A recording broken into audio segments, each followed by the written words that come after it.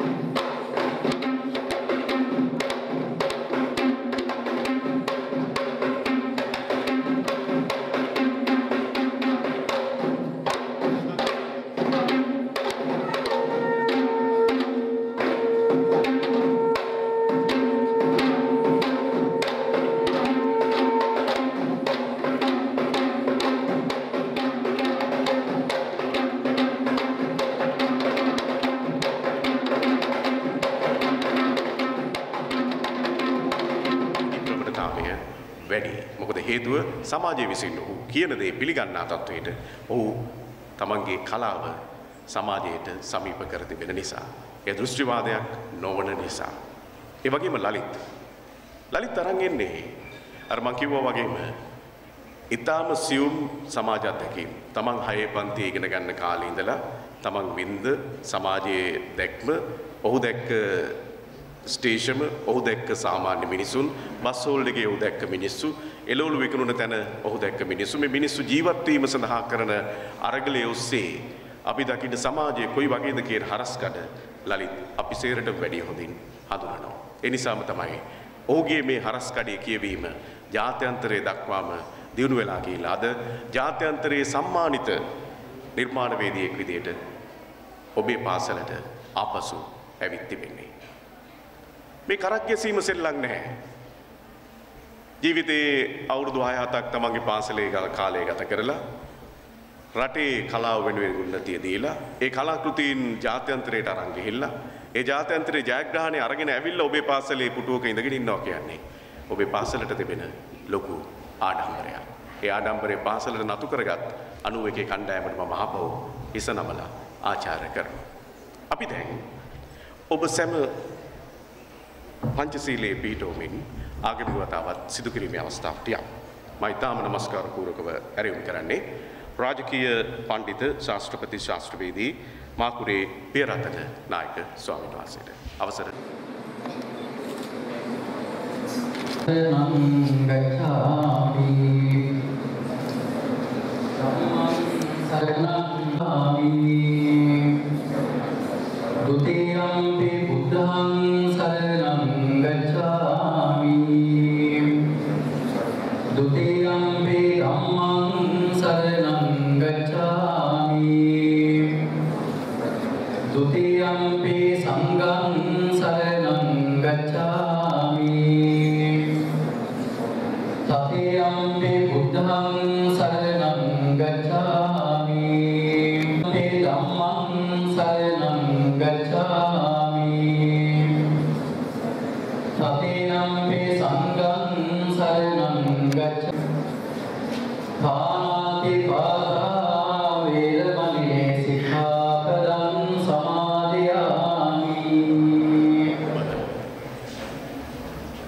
මෙතනට රැස් වෙලා මේ උතුම් කටයුත්තත් එක්ක අපි සතුටු වෙනවා. ඔබට මතකද දෑබර ආදිශ්‍යයේදී ශිෂ්‍යාවනේ අපේ ජීවිතත් එක්ක පත්ත වෙච්ච ලස්සන ඉතිහාසයක් මේ පාසලේ මුල සිටම තිබුණා. අපි අදටත් සමහර වෙලාවට කියවල බලනවා ජැක්සන් අයියා අපේ මේ පාසල් ගීතය අපිට මතක තියෙනවද කියලා. ඇතැම් වෙලාවට අපි කිහිප දෙනා එකතු වෙච්ච වෙලාවට හරි කියපම් බලන්න කියලා ඔන්න කියන්න පටන් ගන්නවා. අපිට තාම මතකයි. මේක තමයි අපේ පාසලට අපි කරන ගෞරවය. එවා සතරක් ඇතුලේ අපි පිල් බෙදගෙන කරපු ක්‍රීඩා මේ පාසල ඇතුලේ මානිවත් අභික්කම කියලා නොනවෙත ඉදිරියට යන්න කියලා අපිට දීපු පාඨය හෙළඹර පෑයූ දිනකර විලසේ කියලා අපිට දීලා තිබ්බු සාහිත්‍යමය අගය අපි හැමදාම අගය කරනවා. අපි හැමෝම සීරුවෙන් නැගිට අපි ඒ ගෞරවය පාසල් මෑණියන්ට එකතු කරමු. සුබ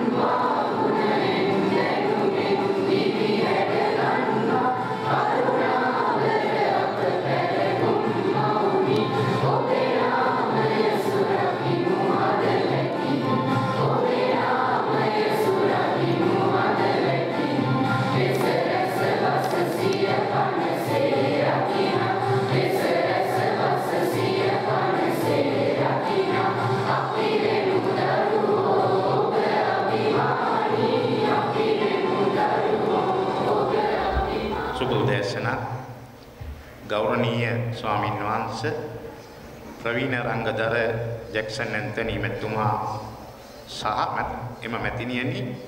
එවැගේම ප්‍රවීණ චිත්‍රපට අධ්‍යක්ෂ ලලිත් රත්නායක මැතිතුමනි. බස්නාහිර පළාත් සෞඛ්‍ය සේවා අධ්‍යක්ෂ අනිල් සමරනායක මැතිතුමනි. ඒ වගේම ජැක්සන් ඇන්තනි මහත්මයාගේ පුතණුවනි. විද්‍යාලයේ හිටපු නියෝජ්‍ය විද්‍යාලපති විද්‍යාරත්න ගුරුතුමා ඇතුළු සියලුම ගුරු මහත්මාත්මීනි ඒ වගේම අපේ ගම්පහ හිටපු අධ්‍යක්ෂකතුමනි ජයරත්න මැතිණි කලාවට සම්බන්ධ ආරාධිත සියලුම අමුත්තනි. ඒ වගේම ආදි ශිෂ්‍ය ශිෂ්‍යාවනි. පාසලේ ගුරු මහත් මහත්මීනි දයාබර දරු දරුවන් ඇතුළු සියලුම ආරාධිත අමුත්තනි මම මුලින්ම নমස්කාර පූර්වකව පිළිගන්නවා. අප පාසලේ ගෞරවනීය ස්වාමින් වහන්සේ මාපූරේ පියරතන ස්වාමින් වහන්සේ උන්වහන්සේ මෙම අවස්ථාවට වැඩම කිරීම අපි ලද වාග්යක් අපිට ලොකු සහනයක් ඒ වගේම ලොකු ධෛර්යයක්. මම උන්වහන්සේව নমස්කාර පූර්වකව පිළිගන්නවා. ඒ වගේම මෙම අවස්ථාවට සැපැමිණි ප්‍රවීණ රංගදර ශ්‍රී ලංකාවේ යුග පුරුෂය කිව්වොත් නිවැරදි මම හිතන්නේ ජැක්සන් ඇන්තනී මැතිතුමනි ඔබතුමාවත් එම මැතිනිය කුමාරි මුණසිංහ මැතිනියත් එම පුතණුවම මම ගෞරවයෙන් පිළිගන්නවා. ඒ කාලේ නම් මම ජැක්සන් අයියේ කියලා කිව්වේ. මොකද අපි පොඩි පන්ති වල 6 7 පන්ති වල ඉන්නකොට වගේ ජැක්සන් අයියා එතකොට කුමාරි අක්කා උපතිස්ස බාලසූරිය අයියා මේ භූමියේ මේ වේදිකාවේ ඉහළ රංගපෑමක් අපිට ප්‍රදර්ශනය කරනවා. අපි පොඩි ළමයි අපි ඉතින් ආසාවෙන් බලලා ඒත් ඔබතුමා මෙවැනි තැනකට යයි කියලා අපි ඒ කාලේ කොහොමත් හිතුවේ නෑ. නමුත් පසුව ඔබ මං හිතන්නේ ලංකාව නියෝජනය කරමින් දේශාන්තරය ජය ගනිමින් ඔබ පාසල වෙනුවෙන් කටයුතු කිරීම සහ පාසලට ගෞරවයක් ලබා දී මං හිතන්නේ මම අගය කොට සලකනවා. ඊළඟට ලලිත් රත්නායක මැතිතුමන් මං හිතන්නේ චිත්‍රපට අධ්‍යක්ෂණ කලාවේ ඉහළම මට්ටම වන ජාත්‍යන්තරයට ගිහිල්ලා අපේ ශ්‍රී ලංකාවේ චිත්‍රපටයක් ඔහු අධ්‍යක්ෂණය කළ චිත්‍රපටයක් සම්මාන ජයක් දිනා ගැනීම මං හිතන්නේ ශ්‍රී ලාංකිකයන් විදියට සහ විද්‍යාලයේ අපේ ආදිශිෂ්‍යෙක් විදියට අපි ඉමහත් ගෞරවයක් ඔබට පුද කරන්න සූදානම්. ඒ අනුව ඔබවත් මෙම ස්ථානයට පැමිණීම පිළිබඳව මම ගෞරවයෙන් ඔබව පිළිගන්නවා. ඒ වගේම මගේ හිතවත් අනිල් සමරනායක මැතිතුමා. ඒ කාලේ නම් අනිල් කියලා කිව්වේ දැන් එහෙම කියන්නේ නැහැ. බස්නාහිර පළාත් සෞඛ්‍ය සේවා අධ්‍යක්ෂ. ඒ කියන්නේ බස්නාහිර පළාතේම සෞඛ්‍ය සේවා අධ්‍යක්ෂ වෛද්‍ය අනිල් සමරනායක මැතිතුමා. මම හිතන්නේ එතුමාගේ ගොඩාක් අස්වත් කතා තියෙනවා. මම පොඩ්ඩකින් එකක් පොඩ්ඩක් කියන්න බලාපොරොත්තු වෙන එකක් දෙකක්. මොකද අපිත් එක්ක ගත කළ කාලේ ඒ නිසා ඔබතුමාවත් ඊටාම ගෞරවයෙන් පිළිගන්නවා. ඒ වගේම අපේ කලාකරුවන් ඒ සියලුම හේමශ්‍රී අමරසිංහ මැතිතුමන් ඇතුළු සියලු දෙනාවත් පිළිගන්නවා. ඒ වගේම අධ්‍යාපන අධ්‍යක්ෂකතුමන් ඇතුළු නියෝජ්‍ය විදුහල්පති විද්‍යාරත්න සර් ඇතුළු සියලු දෙනාවත් ඒ වගේම ආදිශ මහලේකම්තුමා හේමචන්ද්‍ර ජයකොඩි මැතිතුමන් ඇතුළු සියලුම ආදිශ ශිෂ්‍යාවනුත් මම ඊටාම ගෞරවයෙන් පිළිගන්නවා. ඒ වගේම මෙම අවස්ථාවට ආරාධිත සියලුම ආරාධිතයින් මම නමින් සඳහන් නොකලත් ඔවුන් මම ඊටාම ගෞරවයෙන් පාසල වෙනුවෙන් පිළිගන්නවා. ඒ වගේම පාසලේ ආදි ගුරුවරුන් සේම දැන් පාසලේ රැකියාව කරන මගේ හිතවත් සහෝදර සහෝදරියන් ඒ කියන්නේ ගුරු බෞතුන් සියලු දෙනාවත් ආදරණීය දූ දරුවනුත් මම ඊටාම ගෞරවයෙන් පිළිගන්නවා. මේ අවස්ථාව ගැන වචනයක් කතා කළොත් මම හිතන්නේ ජැක්සන් අයියා ගැන කතා නොකරම බෑ. ඔබතුමා මම හිතන්නේ පාසලෙන් අපි පාසලේ ඉද්දී ලොකු සම්බන්ධතාවයක් තිබුණේ නැහැ. මම ඒ කාලේ කුඩා දරුවෙක් කුඩා ළමෙක් මෙතුමන්ලා ශ්‍රේෂ්ඨ යුග පුරුෂය විදියට අපි දැක්කේ පසු කාල පාසලෙන් අපි ඉවත් වුණාට පස්සේ ඒ සහ පාසල් අවසාන කාලේ මම හිතන්නේ කුමාරි අක්කගේ මල්ලි මල්ලිලා කීප දෙනෙක් අප සමග එක පන්තිවල හිටියා. ඒ අනුව අපි නිතරම කුමාරියක් කළා ගෙදර යන්න එන්න ගියා. ඒ අනුව ජැක්සන් අයියත් නිතර එහාට එන්න පටන් ගත්තට පස්සේ අපිට වැඩි සම්බන්ධතාවයක් ඇති වුණා. මම එහෙම කිව්වේ මොකද ජැක්සන් අයියා රාගම ඉන්නේ කුමාරි අක්කා ගණේ මුල්ල ඉන්නේ අපි ගණේ මුල්ල ගෙදර යනවා. ඉතින් ගිහිල්ලා අපි උදේ ගියාම හවස එන්නේ සමහර දාට. ජැක්සන් අයියත් හිටපු ගමන් හවසට එම එනවා. ඉතින් ඇවිල්ලා අපි කතා කරනවා. මට මතකයි මේ විවාහ මංගල්‍යයට පෙර දිනේ ජැක්සන් අයියාගේ විවාහ මංගල්‍යයට පෙර දිනේ පෝරුව හැදුවේ කුමාරයක්ගේ ගෙදර. ඉස්සරහා කාමරේ.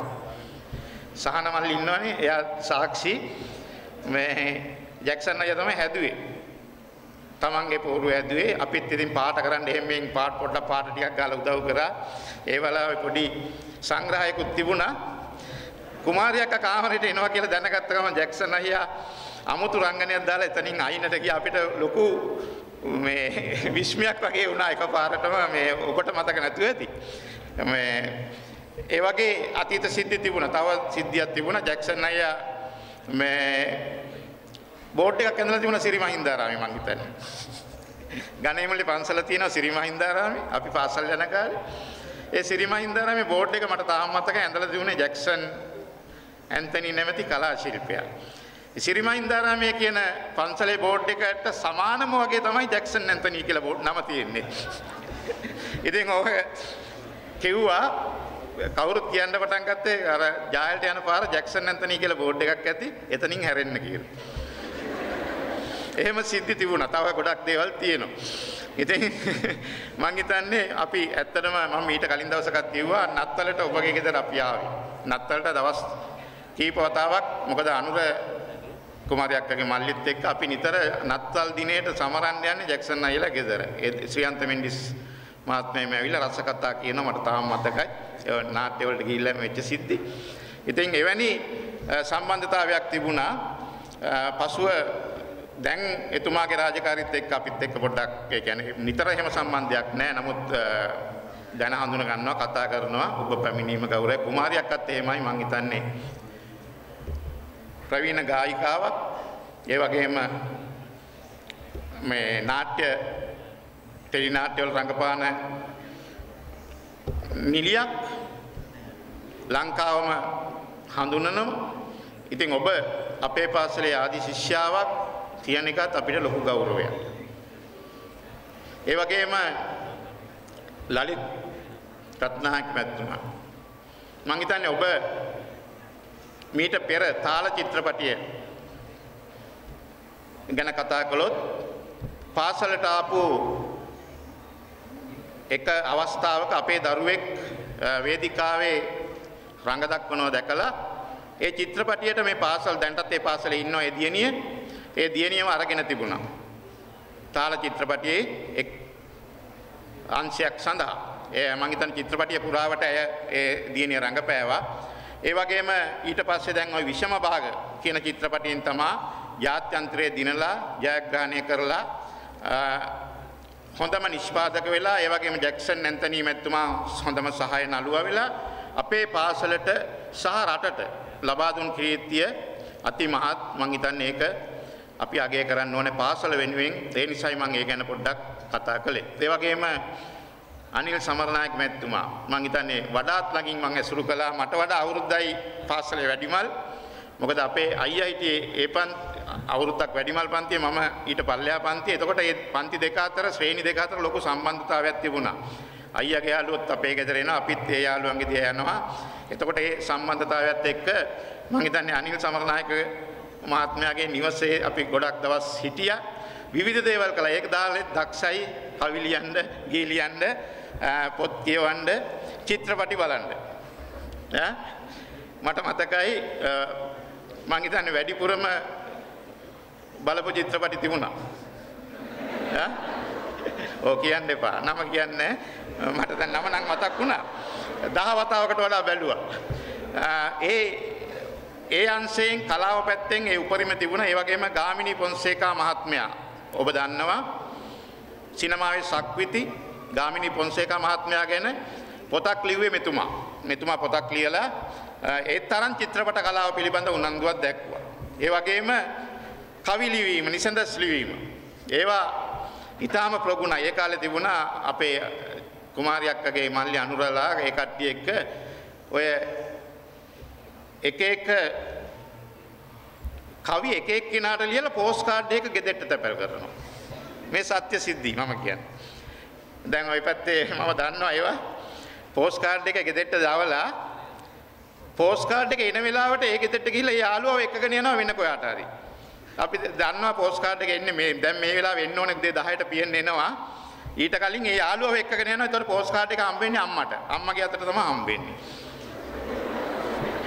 අනිල් සමරනායක මට මතකයි අමරසිංහ. ඔව්. ඔය සම්බන්ධයේ දිගටම ওই කතා ලිව්වා. එක එක්කෙනාට මඩ ගැහිලිත් උතන තිබුණා. නැතුවම නෙමෙයි. විවිධ හේතුන් මත අනිල් සමරනායක මහත්මයාටත් තිබුණා අනුර කුමාර මුණසිංහ ලියපු ලස්සන කවි පන්තියක්. ඒකේ පන්ති අවසන් කරලා තිබුණේ අනිල් සමරනායක කියන එක අවසන් කරලා තිබුණේ සමරවිර නිල් කියලා ඒ වගේ ඒක ලොකු කල්යාණි වන්නම කියලා. ඔව්. මට මතකයි. ඉතින් එවැනි රසවත් අතීතයක් අපිට තිබුණා. ඒ අතීතයේ තිබුණත් දැන් ඔබතුමන්ලා ඉන්නේ ශ්‍රේෂ්ඨ තැන්වල. ඊටාම ඉහළ තැන්වල. බස්නාහිර පළාතේ සෞඛ්‍ය සේවා අධ්‍යක්ෂ. එතකොට වෛද්‍ය අනිල් සමරනායක. ඒ වගේම මේ මහාචාර්ය නාලක ජයකොඩි පිළිබඳ පොතක් ලියලා තිබුණා සසරින් එතර කියලා. ඒ සියල්ලට දක්ෂ ඒ වගේම නාසා ආයතනයේ සම්බන්ධව කටයුතු කරනු මේ සියල්ලම මං හිතන්නේ ගලහිටියාව කියන අපිට ගලහිටියා නුවන් කියන අපිට ආඩම්බරයක්. ඒ ආඩම්බරය ලබා දුන්නේ ඔබ.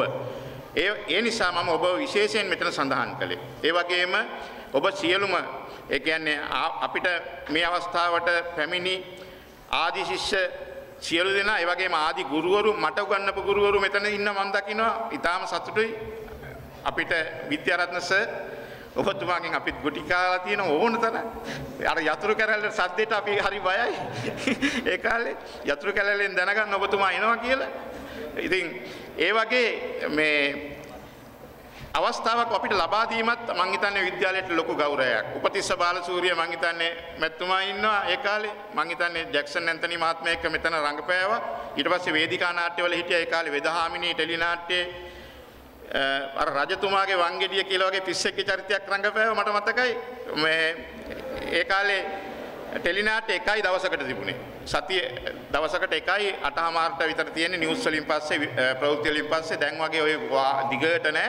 ඉතින් අපි ඒ වගේ හොඳ ටෙලිනාට්‍ය බැලුවා. ඒවැ හිටපු හොඳ දක්ෂ අපි ආඩම්බර වුණා ඒ බලනකොට. මේ අපේ උපතිස්ස අයියා මේ ජැක්සන් අයියා මේ කුමාරි අක්කා ආ ඒ වගේ කියලා අපි සතුටු වුණා. ඉතින් මං හිතන්නේ ඒ ගෞරවය ඔබට අපි පුද කරන්න තමයි මේ ආදි ශිෂ්‍යයින් අද සූදානම් වෙලා තියෙන්නේ. ඒ ආදි ශිෂ්‍යයින්ටත් පැමිණි ඔබ සියලුම දෙනාටත් නයින් නයිරින් සහාය කළ සියලු දෙනාටත් මම පිළිගැනීමේ කතා වුණත් මගේ ස්තුතිය පුද කරන මේ අවස්ථාවේ විද්‍යාලය වෙනුවෙන් මගේ ගුරු මණ්ඩලය මගේ දරු දැරියෝ සහ දෙමාපියන් පාසල් සංවර්ධන සමිතිය ආදිශිෂ්‍ය සියලු දෙනා වෙනුවෙන් මේ සංවිධානය කළ ආදිශිෂ්‍ය මණ්ඩලයට මගේ ප්‍රණාමය පුද කරමින් ඔබට සුබ දවසක් ප්‍රාර්ථනා කරමින් මම නිහඬ වෙනවා බොහොම ස්තුතියි විදුහල්පතිතුමනි විදුහල්පති ඒ.එම්. සමන්සිරි සමර අමරසිංහ මහත්මයා ඒ ඊටම රසවත් අතීතයක් මතක් කළේ. අර විදුහල්පතිතුමා කියවනකොට ලලිත් තමන්ගේ හයේ පන්තියේ ඉඳලා කියවීම කොහොමද කියනවනම් සමාජයේ දිහා විද්‍යාරත්නසගේ අතුරු කැරැල්ල පොළොවන් පොළොවන්ගෙන ඒක චිත්‍රපටයටත් ඇතුළු වුණා. ඒක තමයි සියුම් කියවීම. ඒ කියවීම අතිශය වැදගත්. ඉලක්ෂි ඔබවත් අපි තාම ආදරයෙන් පිළිගන්නවා අපේ ආදිශ්‍යාවක් සිංහබාහු නාට්‍ය නියෝජනය කරන අද ලංකාවේ ජන කලා සාහිත්‍ය නැත්නම් ජනගීය පෝෂණය කිරීම වෙනුවෙන් දැවන්ත දායකත්වයක් එකතු කරන නිලක්ෂි හැපිටිය ඔබේ ආදිශ්‍යාව. හොඳයි. දැන් මේ අපේ පාසලේ නර්තන කණ්ඩායම සූදානමින් සිටිනවා ඔබ සැම පිළිගන්න. හරි ලස්සන නර්තනයක් සූදානම් කරගෙන. ඔබ දැන් සෑහෙන වෙලාවක් ඉඳලා මෙතන මේ ලෑස්ති වෙලා හිටියේ කොයි වෙලාවේද වේදිකා මස්සකේට ගේන්නේ කියලා. ඒ නිසා ඔබේ අත්පොළසන්නාරය අවශ්‍යමයි. Deviani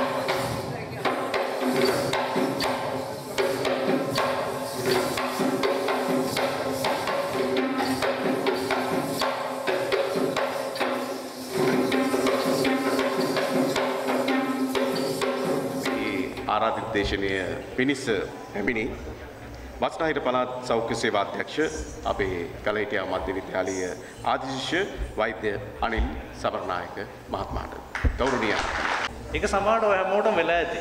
ඊට ඒකට හේතුවක් නැහැ. ඒක දෙජාව් කියලා කියන්නේ ෆ්‍රෙන්ච් වර්ඩ් එක. දෙජාව් වුණා මට දැන් මෙතනදී. කියන හිට මෙතෙන්ට ආවට පස්සේ මම දැන් ඇත්තටම අතීතේ ඉන්නේ. එතන එච්චර දුරට ගියා. මට දැන් මේ ස්ටේජ් එකේ මෙතන මතක් වුණා අපි ඉංග්ලිෂ් ඩේ එකට මිස් මානල් සමරකෝන් අපිට පුරුදු කරේ කේසරාසරා සෝන් එක අපිට කරපු හැටි. කුමාරයෙක්වත් ඉන්න දිසීනිය කේසරාසරා කරද්දී අපි මෙතන කර අපි අපිට ඒක පුරුදු කරන්න සෑහෙන කාලයක් ගියා. නමුත් ඒ කේසරාසරා සින්දුවේ තියෙන විදිහටම what will be will be. so අපි plan නොකරත් අපි බොහෝ දේවල් අපි උරුම කරගන්නවා.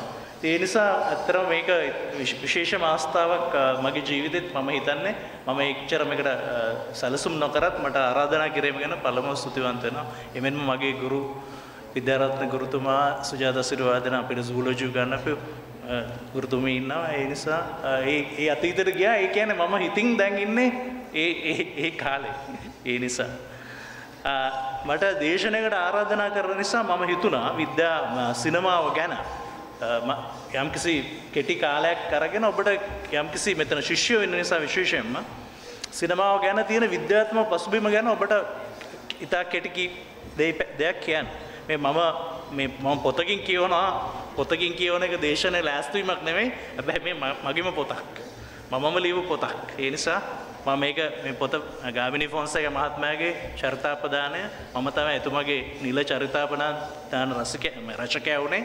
මම මේ පිටපත පරිත්‍යාග කරනවා. පුස්තකාලයට මොකද මේ පුස්තකාලයම තමයි අපිට කියවීම පුරුදු කරේ.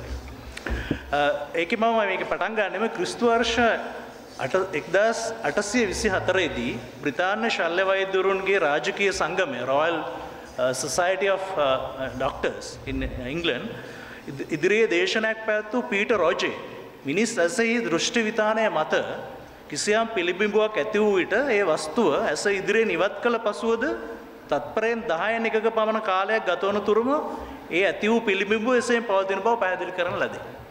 එකැන් අපි ඉස්සරහා යමක් තිබ්බම ඒක ෂණයෙන් අයින් කරත් ටිකක් වෙලා යනකම් අපිට අපේ මොලේ තියෙන්නේ පිළිබිඹු තියෙනවා කියලා. ඒ දස්තු අයින් කරට හැබැයි අපි අපි පොඩි රැවටීමකට ලක් වෙනවා. එක විද්‍යා ඔබ විද්‍යා ශිෂ්‍ය විදියට ඒ ගැන ඉගෙන ගන්න. පළවෙනි කාරණය ඒකයි ඕන ඒක මනුෂ්‍ය මනුෂ්‍යසි ස්වභාවය ටිකක් වෙලා අර තියෙන ඉමේජ් එක එහෙම තියෙනවා කියලා තාම හිතන හැබැයි ඒක එතන නැහැ. හැබැයි ඉතා කෙටි කාලයකට තත්පරෙන් 10න් එකක් වගේ කෙටි කාලයකට. මේ හේතුවෙන් සත්‍ය වශයෙන්ම කිසිදු වස්තුවක් ඇස ඉදිරියේ නොමැති ඇසුරු සැනක්පන් කුඩා කාලයක් තුළදී එසේ ඇති බව වටහා ගන්න ඇස Uh, කිසියම් රැවටීමකට භාජනය වේ. ඒකට අපි කියන්නේ මේ දෘෂ්ටි අඛණ්ඩතාව කියලා. continuity of vision. එතන වස්තුව නැහැ. හැබැයි අපේ හිතේ තියෙනවා තාම එතන තියෙනවා කියලා. එක. දෙවෙනි එක තමයි ප්‍රධාන ග්‍රීක ජනයා පෙර සිටම මානව ඇස බඳුන් වූ මේ රැවටීම හෙවත් වංචනය අඳුනාගෙන සිටියහ.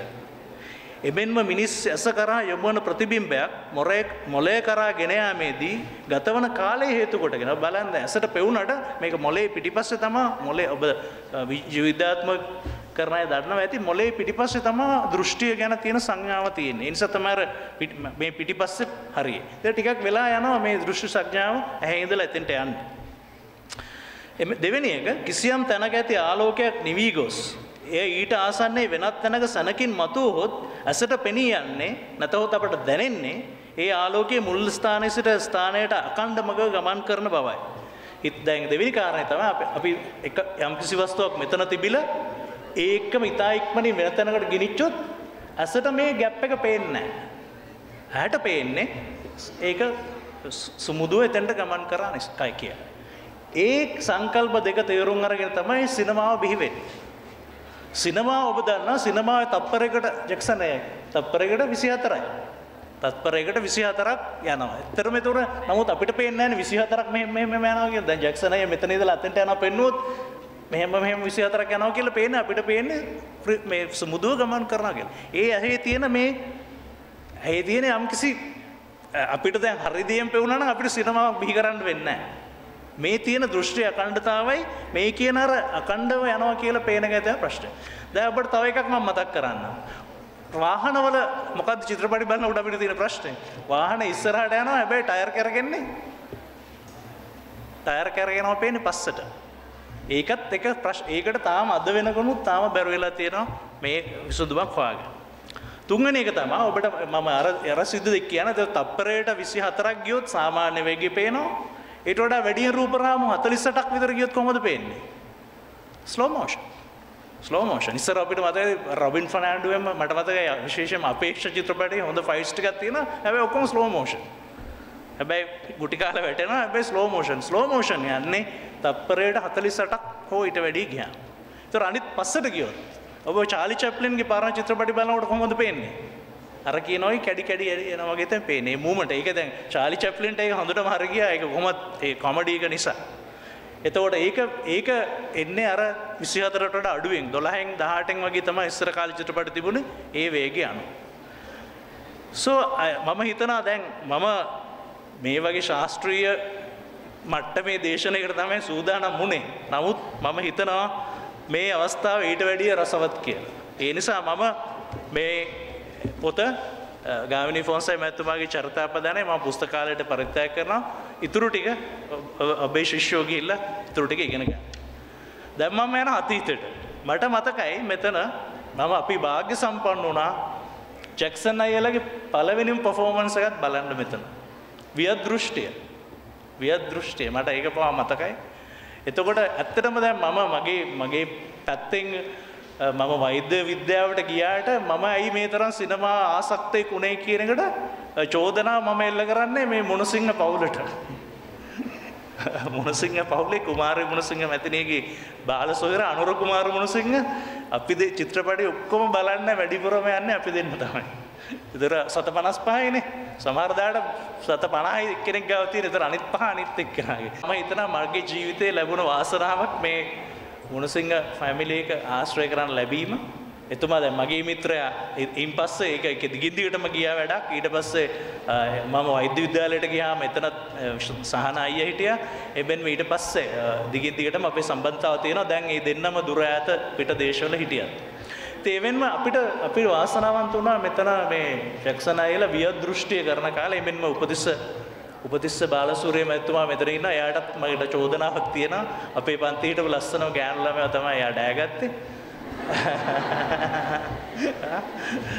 එයා ඒ කාලේ මේ ඉතින් මේ පර්ෆෝමන්ස් කර ඒව අතුරු ප්‍රතිඵල තමයි ඔය. පර්ෆෝමන්ස් කරපු ඒවා ඒ නිසා මට හොඳින්ම මතකයි ජැක්සන් අයියා සහ කුමාරය අක්කා. මේ වගේ මෙතනට ජයන්ත අයත් මට මතකයි කාලගෝල නාඩගම් කරනවා ඉපස්සේ ජැක්සන් අය හැබැයි ආවම අපිට මේ ස්ටයිල් එක වෙනස ඒ කාලෙත් තිබුණා. මොකද්ද කියලා තේරෙන්නේ නැහැ. මේ මාර අමුතු සීරියස් ඇක්ටිං එක ඒ කාලේ අපිට තේරෙන්නේ නැහැ මොකද්ද කියලා මේ අපි අපිට පුරුදු මොනව බලලාද අපිට පුරුදු අර පොල්කොට වේදිකා නාට්‍යවල බලලා දුටු එන්නු සටනට ගනු කඩුව ඒව බලලා පුරුදු ජැක්සන් අයගේ අමුතු ස්ටයිල් ඒ කාලෙත් පෙවුණා. ඒ නාට්‍යයේ නම බලන්න වියදෘෂ්ටිය මට තේරෙන්නේ නැහැ මොකද්ද කියලා තාම. වියදෘෂ්ටිය තමයි එහෙම නේද ජැක්සන් අය? වියදෘෂ්ටිය. එතකොට මටත් ඒකේ මට මත හේමස්ට්‍රී අයියා හිටියා. හේමස්ට්‍රී අයියාගේ බෑකප් එක විදිහට මගේම අයියා. මගේ අයියා නොයල් සමරනායක එයත් ප්‍රක්ටිස් කරා මට මත එයාට හම්බුන්නේ නැහැ කරන්න. හැබැයි බෑකප් එක විදිහට එයත් මට මතයි කියනවා. එයාට ඒ රංගනේ එතනින්ම අමාරු වුණා. එතනින් පස්සේ එමෙ ඒ නිසා මම හිතනවා අපි මේ ජැක්සන් මැත්තුමා වගේම මේ පාසලේ වේදිකාවෙන් ලැබුණු ඒ කොතරම් දුරගිහිල්ලද කියලා ඔබ හිතල බලන්න. එමෙන් මේ රත්නායක මැත්තුමා මම දන්නා මම ඇතර පසුගේ කාල චිත්‍රපට සංස්ථාවේ අධ්‍යක්ෂ කෙනෙක් විදිහට වැඩ කරා මොන තරම් අපහසුද කියලා මේ යන ලෙවල් එකට යන්න. මේ දහස් ගාණක් තියෙනවා කෙටි චිත්‍රපටි කරලා එතනින් එහාට යන්න බැරුව. කෙටි චිත්‍රපට කරපු අංකුර චිත්‍ර ඒවා ඒවා අපි අපි අපි බලලා තියෙනවා බැලුවම ඒවා ලෝක මට්ටමේ තියෙනවා. ඉතින් ඒ අතින් බලපුවා මේ මෙතුමා මම බැලුවා එතුමාගේ මේ චිත්‍රපටි වලට ලැබුණු සම්මාන ප්‍රමාණය සහ එම චිත්‍රපටි උළෙලවල් ඉතාම විශිෂ්ට තැනකට ගෙනහිල්ලා තියෙනවා. ඒ නිසා මම හිතනවා ඔබ සියලු දෙනාට මම ශිෂ්‍යෝ ඔබ ඔබ මොනතරම් ඇත්තරම ඔබ ගිහිල්ලා තියෙන දුර සමහර දැන් අපි බයෝග්‍රෆිස් කියපුවම ඒ බයෝග්‍රෆිස් දැන් මම මේ දවස්වල කියන්නේ ජැක් ජැකී චෑන්ගේ බයෝග්‍රෆිය චීනේ එයා අවුරුදු දහයක් තිස්සේ කුඩා කාලේ එයාව බලෙන් මර කුන්ෆු ක්ලාස් එකකට දාලා හිරකාරයෙක් වගේ ජීවිත තමයි ගත කරලා තියෙන්නේ. සෝ ඒ වගේ ඕනම ඒ මේ මේ ක්ෂේත්‍රයේ ඉන්න ඕනම කෙනෙක්ගේ ඒ වගේ යම්කිසි ලොකු අද යම්කිසි විදිහේ අමුතු අත්දැකීමක් ලැබිලා තියෙනවා.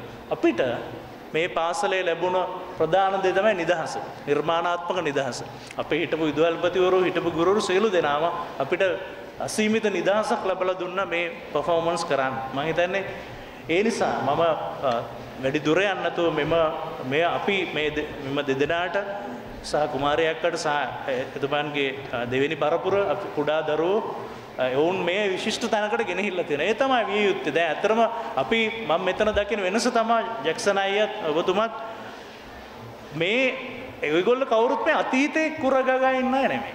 ඒක මම හොඳටම දකින්න දෙයක්. ඒ කාලෙත් දැක්කම උග දෙනෙක් අපේ වැඩිහිටියන්ට තියෙන ප්‍රශ්න තමයි ඒ කාලේ හොඳ කී කී ඉන්නවා මිසක් ඉස්සරහට යන්නේ නැහැ.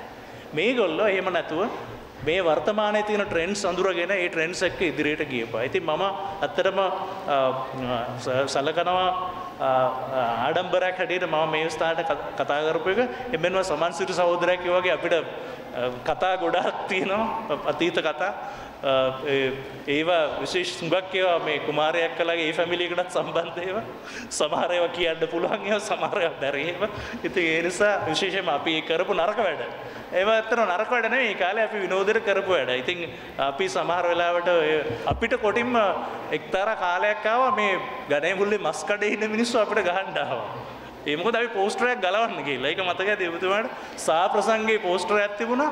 ඒ පෝස්ටරේ අපිට අපි ඒකල පෝස්ටර එකතු කරන ආසාවක් තිබුණා. පෝස්ටරේ ගලවන්න මම මම අනුරට කිව්වා මචං ඔක් ගලවමු කියලා. ගලනකොට අර මිනිහ පස් කපන පීයක් අරගෙන ආවා. අඩෝ කොහොමද අත තියන්න එපයි කියලා. ඒ වගේ නොයෙකුත් සිද්ධි තියෙනවා. ඒ කියන්නේ ඒවට තිබුණ ආසාව. ඒ නිසා මම හිතනවා ඔබ සියලු දෙනාම මට දෙන්න තියෙන එක එකක් නම් ශිෂ්‍යයන්ගෙන් කරන්න තියෙන ඉල්ලීමක් නම් ඔබ ඔබ ආස දේවල් කරන්න. හැබැයි ඔබගේ පළවෙනි එක පළවෙනි යුතුයකම අධ්‍යාපන ඒකත් ඒකට ප්‍රමුඛ තැන දීලා ආසයව නවත්තන්න එපා. මොකද මේ ජීවිත කාලේ අර කේසරසරා සින්දු කිව්වා වගේ වෙන දේ වෙනවා. වෙන දේ වෙනවා වෙන හොඳත් ඒ කියන්නේ හුඟ දෙනෙක් අපි හැමතිස්සම අපේ රටේ අහන්න තියෙන කම්ප්ලේන් එකක් තමයි මේ රට නිකන් නිවුස් එකෙන් බැලුවොත් හිතෙන්නේ මේ රට නැත්තරම නැති වෙලායි කියලා. හැබැයි එහෙම නැහැ.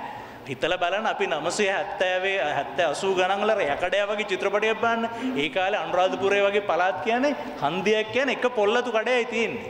දැන්ගේම නෑ. ඉස්සරාපි මටයි මම කතරගම යනවා ඇම්බිලිපිටියට අපි ඉස්සර හැම අවුරුද්ධකර සරයක් යනවා. ඇම්බිලිපිටිය පාර ඇම්බිලිපිටිය කියන හන්දි එක කඩය තිබුණ ජනරංජන හෝටලේ කියලා එක කඩය ළඟදි දවසක මම රාජකාරි ගමනක් ගිහලා එනකොට හදිස්සියෙ මාව ඇහැරුණා වාහනේදී. රෑ. බැල මඟව ඩ්‍රයිවගේ මේ කොහෙද ඉන්නේ කියලා මට විතර වැල්ලවත්ත කියලා. ඇත්තරම දැන් ඇබිලි පිටියේ තත්ත්වය. ඒ නිසා ඒ පසුගාමී සිතුවිලි ඇති කරගන්න එපා. අප්‍රමාණ දියුණුවක් මේ රටේ සිද්ධ වෙලා තියෙනවා. ඒක ඒක ඒක දේශපාලන කතාවක් නෙමෙයි. ඒ සත්‍ය අපි පිළිගන්න ඕනේ. අප්‍ර ඒ දියුණුව ඇති වුණ නැත්නම් ඒම රටේ සිස්ටම් එකක් අධ්‍යාපන සෞඛ්‍ය සිස්ටම් එකක් ෆ්‍රී එඩියුකේෂන් ෆ්‍රී හෙල්ත් ඒව තිබුණ නැත්නම් අපිට මේ ගමන යන්න බෑ. ඒ නිසා ඒ සත්‍ය දැකලා ඒ සිල් ඒ සියල්ල ඇප්‍රීෂিয়েට් කරන අතරේ ඔබගේ ජීවන අභිමතාර්ථ කරා යන්න කියලා මම ශිෂ්‍යයන්ගෙන් ඉල්ලා සිටිනවා. එවැනි මේ අවස්ථාවට ආරාධනා කිරීම ගැන විදුහල්පතිතුමාට ආදර්ශ සංගමයට ස්තුතිවන්ත වෙනවා. බොහොම ස්තුතියි. දැන් අපි සූදානම් වෙන්නේ මේ විෂම භාග කියන සිනමා කෘතියේ තිබෙන වටිනාකම මේ වෙනකොට අරගෙන තිබෙන ජයග්‍රහණ මොනවද කියලා දෑබර ඔබට දැනුම් දෙන්න.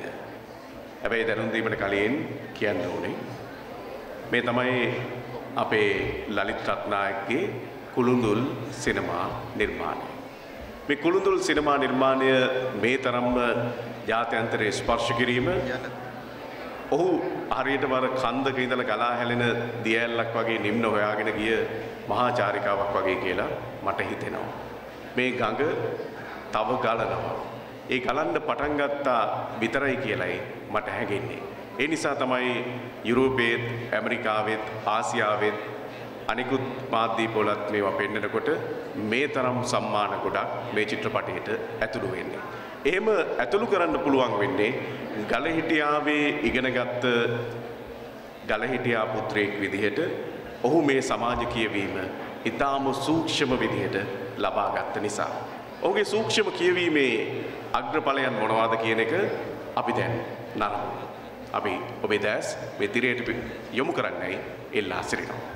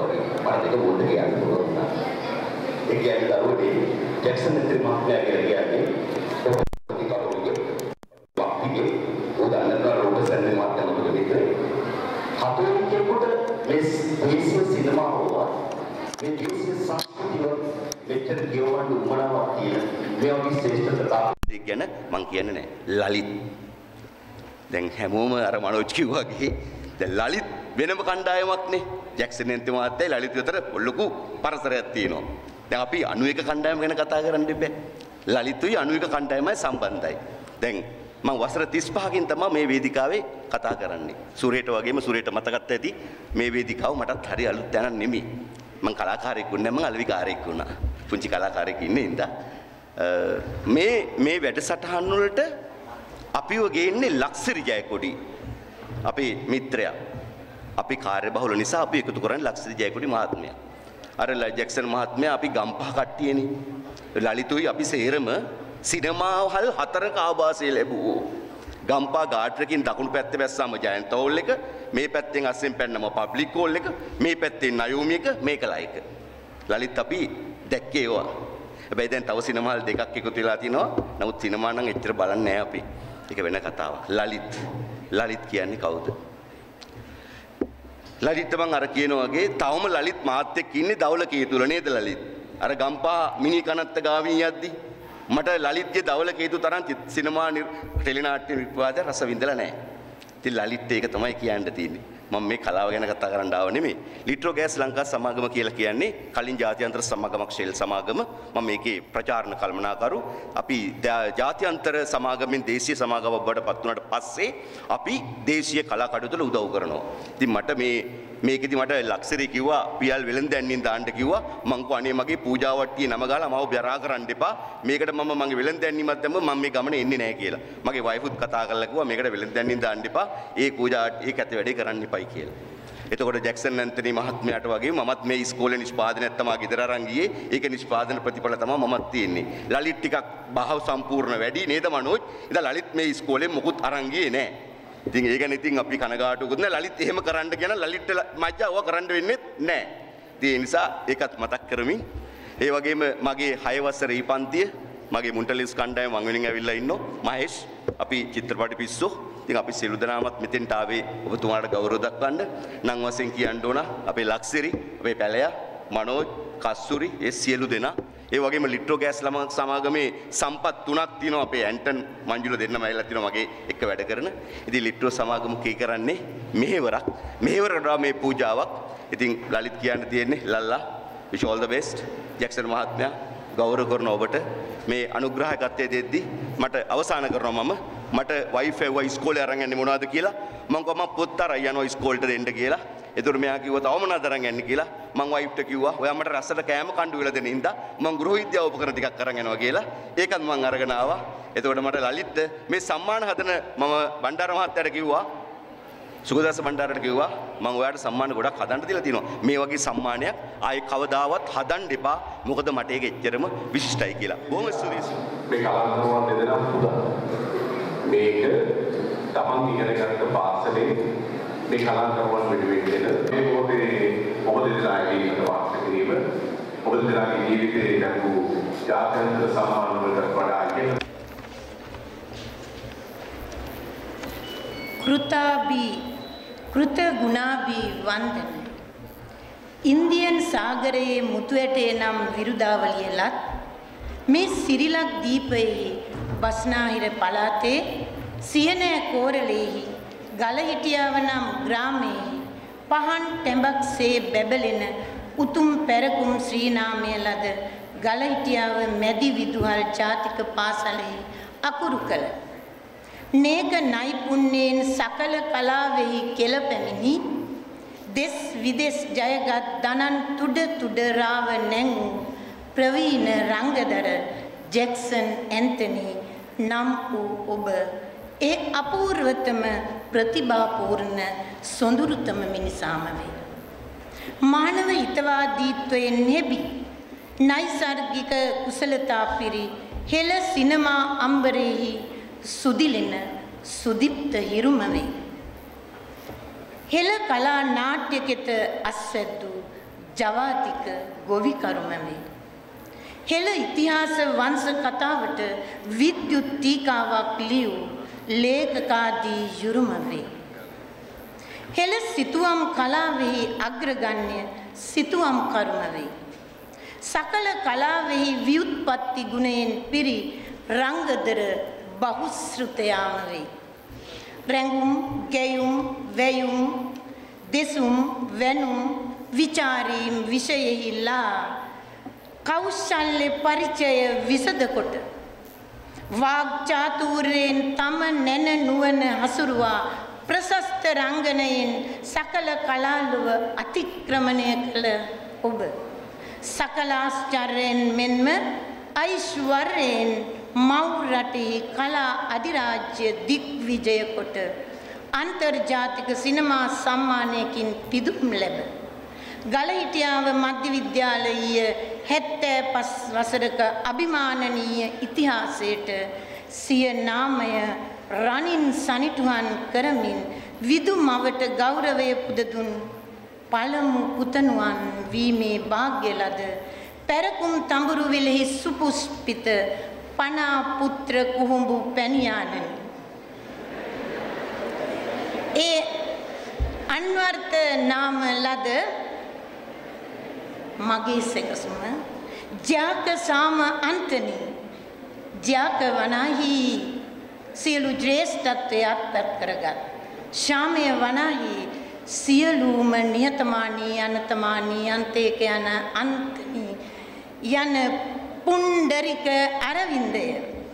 උතුම් විදුහල් මාතාවගේ කිත් යසස් පතුරා විදුහල් අභිමානය දෙස් විදෙස් පතල කළ ඔබට විදු මාතාවගේ තුති පැසසුම් දෙනුවස් අතීත වත්මන් දූ දරු පිරිස හා පාසල් ප්‍රජාව මෙසේ උපහාර කොට කෘතාබී වන්දනය පුද කරමු. ආ වඩා ආයු බොහෝ වේවා. ආ රටේ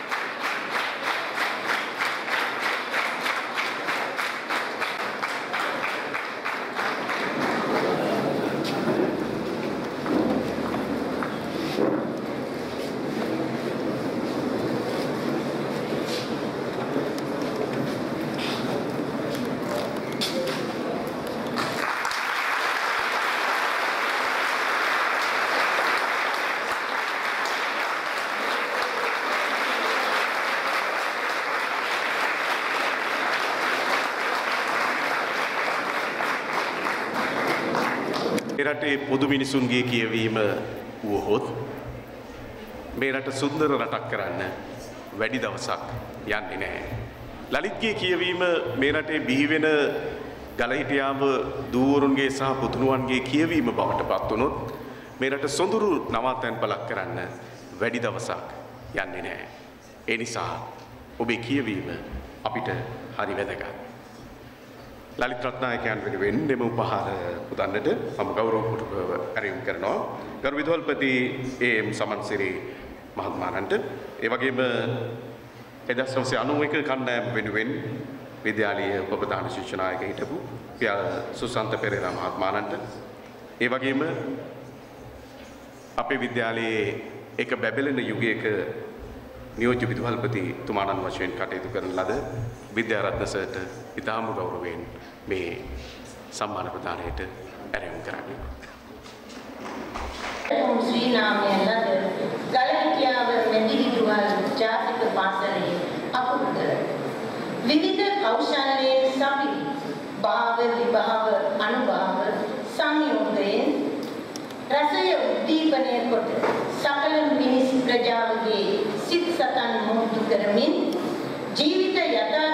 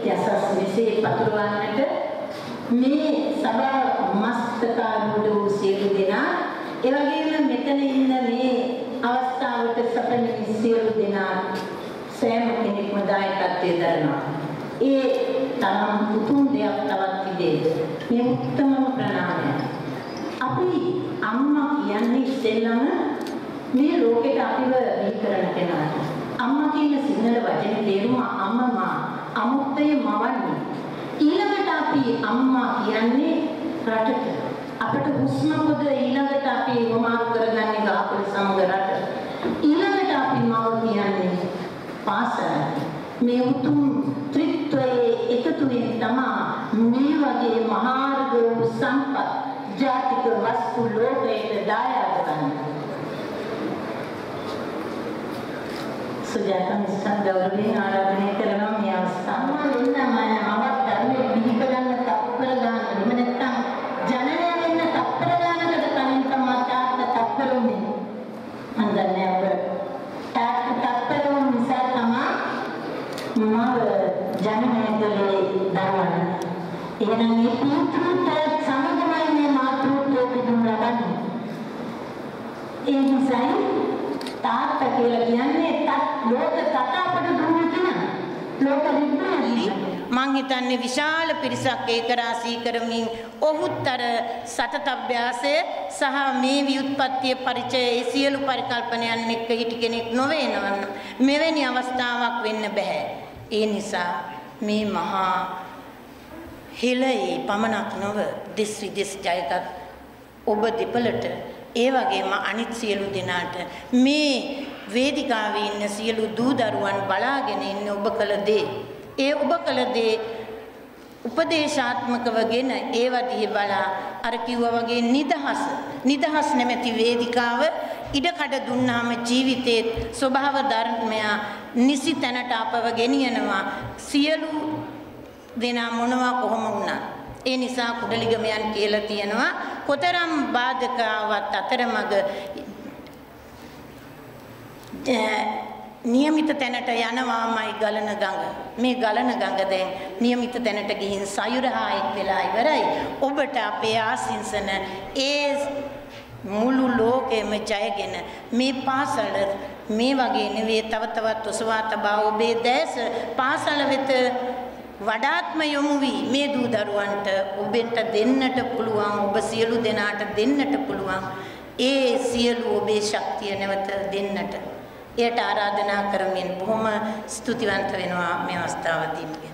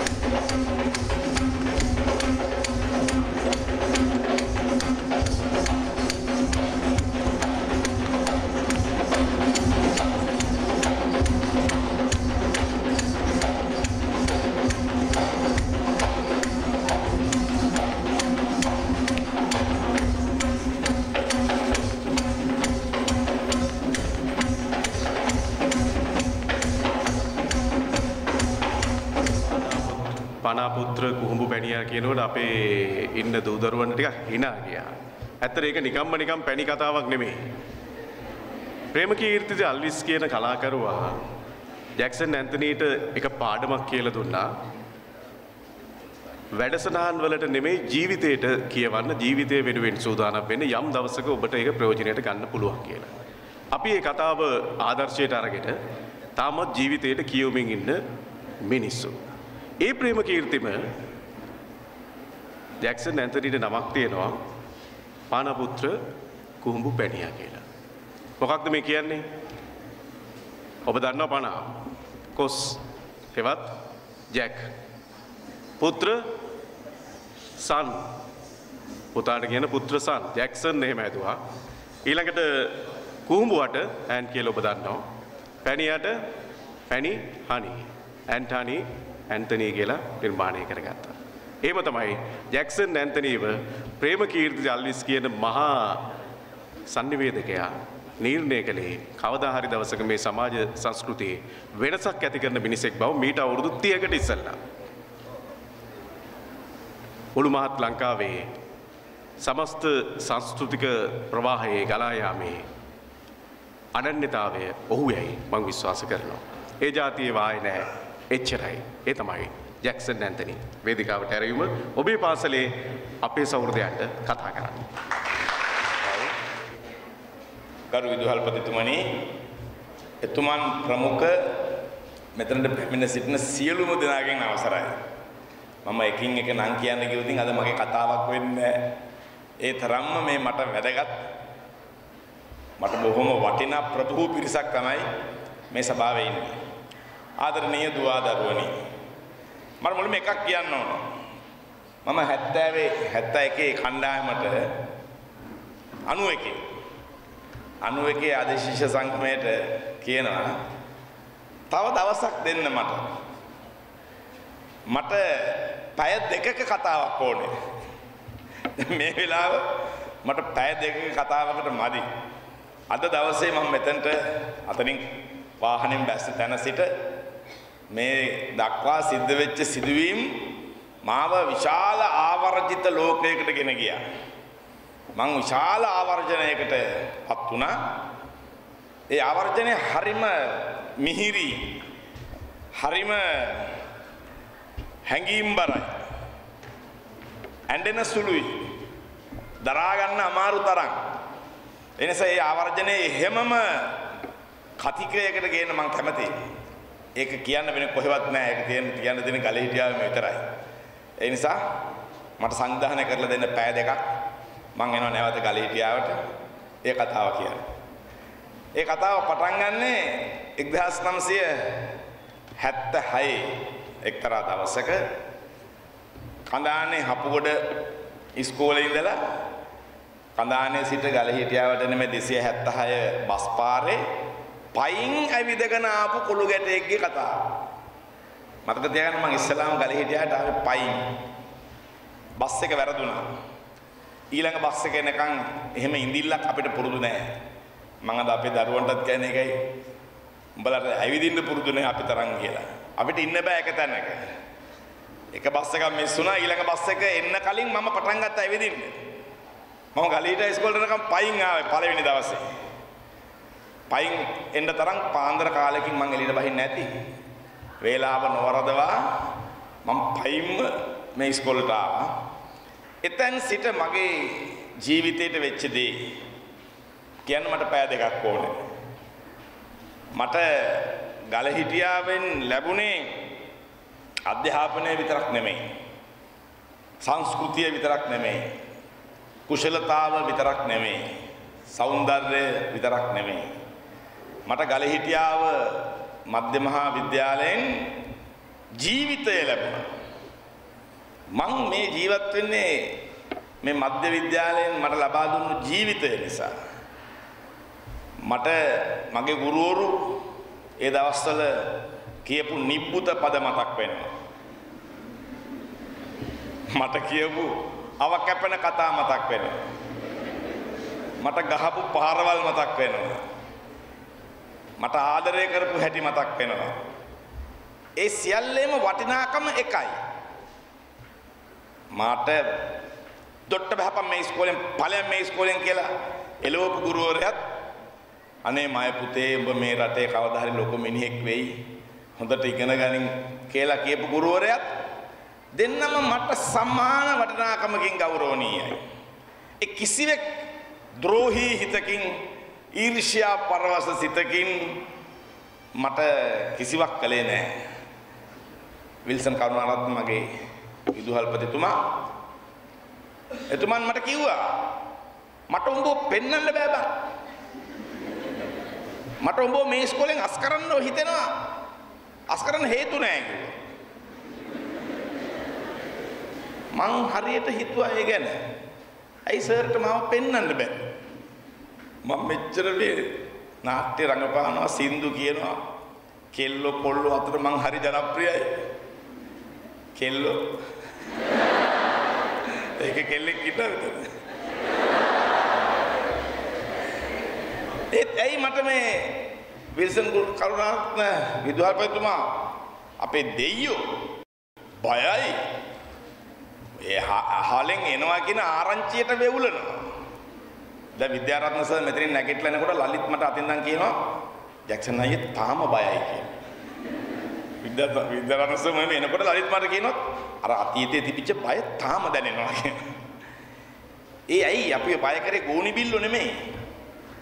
මං කල්පනා කරනවා ඇයි විදුහල්පතිතුමා මට එහෙම කිව්වේ? මම්ම හොයා ගන්නවා ඒකට හේතුව. මම්ම හොයාගෙන මම යනවා රාගම ෂෙල්ටන් අයියාගේ සැලූන් එකට. ගිහලා ෂෙල්ටන් අයියාට කියනවා සැලූන් එකේ මේ හොඳ ළමයෙක් වගේ පේන්න කොණ්ඩේ කපන්න කියලා. මට තේරෙනවා මට තිබුණේ ගුටි කන පෙනුමක් ඒ කාලේ.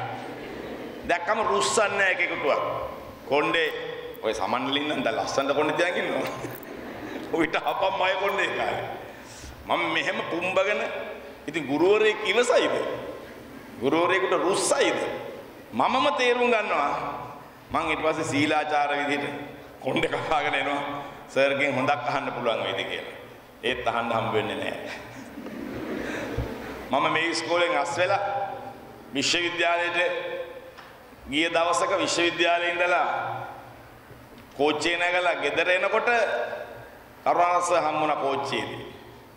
හම්බෙලා මාව දැකලා මොකද දැන් කරන්නේ කියලා ඇහුවා.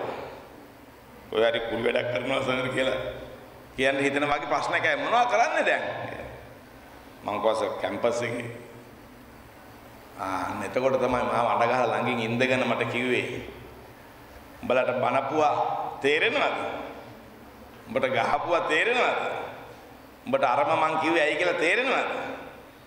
තේරෙනවා බුදු සර් කියලා කකුල් දෙක අල්ලලා වඳින්න හිතන කෝච්චිය ඇතුළෙම. ඒගොල්ලෝ එහෙම නොවුන නම් අපේ ජීවිත මීට වඩා හුඟක් වෙනස්. මට මම මේ ඉස්කෝලේට එනකොට මං ගියා පොඩි ඉස්කෝලේකට දුප්පත් ඉස්කෝලේකට හපගොඩ ඉස්කෝලේ කියලා. බිල්ඩින් දෙකයි තිබුණ මුළු ඉස්කෝලේටම මං ඕ ලෙවල් දක්වා හිටියේ ඒකේ. ඊටත් පෙර මං හිටියේ බණ්ඩාරවල තවත් ඉස්කෝලේක. මං ඉස්කෝල හතරක විතර ඉඳලා තියෙනවා. මගේ මේ හුරු බුහු ටිකන් මං ඒ කාලේ පොඩි කාලේ කටකාරයි දඟකාරයි එක එක කුසලතා තියෙනවා. ඒ මගේ දඟකාරකම් හුරු බුහු ටිකන් දැකලා මගේ ගුරුවරු මට කියපු එකම දේ තමයි ඉගෙන ගනි. උඹට ගොඩ එන්න වෙන කිසිම හේතුවක් නැහැ. ඇයි මං රාගම පොඩි වී කුමුරේ බෙනඩික් ඇන්තනී කියන රජයේ සේවකයාට දාගෙන රොලින් පෙරේරා කියන ගැමි කාන්තාවගේ කුසෙන් බිහි වුණා විතරයි. අපේ හත්මුතු පරම්පරාවවත් එහෙම කලාකාරයෙක් සල්ලිකාරයෙක් එහෙම කවුරුත් ඉඳලා නැහැ. දන්න කියන කෙනෙක් කවුරුත් ඉඳලා නැහැ. අපි හරි සරල සාමාන්‍ය මිනිස්සු. මම බිහි වෙන්නේ ඊටාම සරල සාමාන්‍ය ගැමි දරුවෙක් විදිහට. මුකුත්ම නැහැ. වත් පොහොසත්කම් සමාජ සම්බන්ධතා එය කිසිවක් නැහැ. හැබැයි අද මට මාව බෙර ගහලා මගේ පාසල එක්කගෙන ඇවිල්ලා මට විශාල ගෞරවයක් දක්වනවා. අද මුළු රටම මට ආදරය කරනවා. එතනට අර තාම සාමාන්‍ය කිසිදු සුදුසුකමක් නැතුව ඉපදිච්ච ගැමි දරුවා පත් වුණේ කොහොමද? වෙන්න කිසිවක් නොවේ. වාසනාව නොවේ. මම වාසනාව කියන දේ සත්‍ය පහකට විශ්වාස කරන්නේ. බොරුවට නෙමෙයි කියන්නේ. කොච්චර විශ්වාස කරන්නේ නැද්ද කියනවනම් මගේ ජීවිත කාලය තුල මම තවම ස්විප් ටිකට් එකක් සල්ලි දීලා අරගෙන නැහැ. මම ස්විප් ගන්නෙ නැහැ. ඒක මගේ ප්‍රතිපත්තියක් කුඩා කාලේ ඉඳලම මට ස්විප් අප්පිරියයි. ඇයි? මම දන්නවා මම වාසනාවන්තයෙක් නෙමෙයි කියලා. මට වාසනාව නැහැ. මම මගේ හැකියාවෙන්, මගේ ශක්තියෙන්, මගේ ඌමනාවෙන්, මගේ ගේමෙන්, මගේ පරිප්පුවෙන් ඉන්න මිනිහෙක් මම. ඒ මට ස්වීප් ඇදිලා මට සල්ලි හම්බුණා නම් ඒ මගේ ගේම නැති වෙලා යනවා. මගේ එල්ලේ නැති වෙලා යනවා. එහෙනම් මට ස්වීප් ඕන නැහැ. අතීතේ ඕනෙත් නැහැ, අද ඕනෙත් නැහැ, හෙට ඕනෙත් නැහැ. උන්නු ගමන් හොඳ හීනයක් දැකපම කුමාරිට උදේ කියපම කුමාරි කියනවා අද ස්වීප් එකක් ගන්න කියලා. මං කියලා නැහැ. ස්වීප් එක තමයි ඇදි- ඇදිලා තියෙන්නේ. මට ජීවිතේ දුන්නේ මේ ඉස්කෝලේ. මේ ඉස්කෝලේ ආපුහම මට හොඳ ගුරුවරු හම්බුණා. මම හොඳට අධ්‍යාපනය කළා මට හොඳ යාළුවෝ කණ්ඩායමක් හම්බුණා. සුරේ කියාපු අ, ඒ නාට්‍ය වියත් දෘෂ්ටිය හෙවත් උගත් සන්නිය. ඒ නාට්‍ය අධ්‍යක්ෂවරයා රචකයා මම නෙමෙයි. උපතිස්ස බාලසූරිය. මම නිකන් නිකන් නළුවා විතරයි ඒ කාලේ. එදත් එහෙමයි අදත් එහෙමයි. ගලහිටියාවේ කොල්ලෙක්ගේ ඒ ගලහිටියාවේ උපතිස්ස බාලසූරිය නැමැති කොල්ලා ලියපු සහ අධ්‍යක්ෂණය කරපු නාට්‍යයේ නළුවෙක් මම වියත් දෘෂ්ටියේ ඒ වගේම තවමත් ගලහිටියාවෙන් බිහිවෙච්ච කොල්ලෙක් හදපු අධ්- රචනා කරලා නිරි- අධ්‍යක්ෂණය කරපු චිත්‍රපටයේ නළුවෙක් මම. මම අද ජාත්‍යන්තරයේ හම්බෙච්ච මට පළමු සම්මානය. මට ලංකාවේ සම්මාන ගොඩක් හම්බෙලා තියෙනවා. මගේ සම්මාන ලයිස්තුව මගේ සම්මාන ලයිස්තුව සම්මාන 60 ගානකින් යුක්තයි.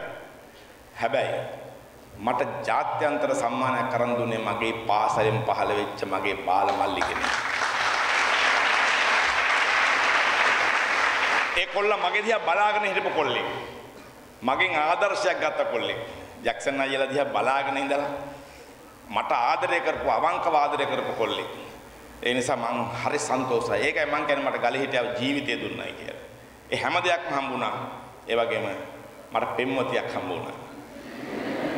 ගලේ හිටියා මධ්‍යම විද්‍යාලයට ඇවිල්ලා මම මේක ASCII කැරි කැරි මට රැග් කරනවා මෙතන ඉන්න පාලිත මගේ හොඳ මිත්‍රයා පාලිත ඇවිල්ලා හිටියා. පාලිත තමයි මට රැග් කළේ. ෆෑන් එක පෙන්නලා ඇහුවා මෙන්න මේ ෆෑන් එක මත කොහෙද?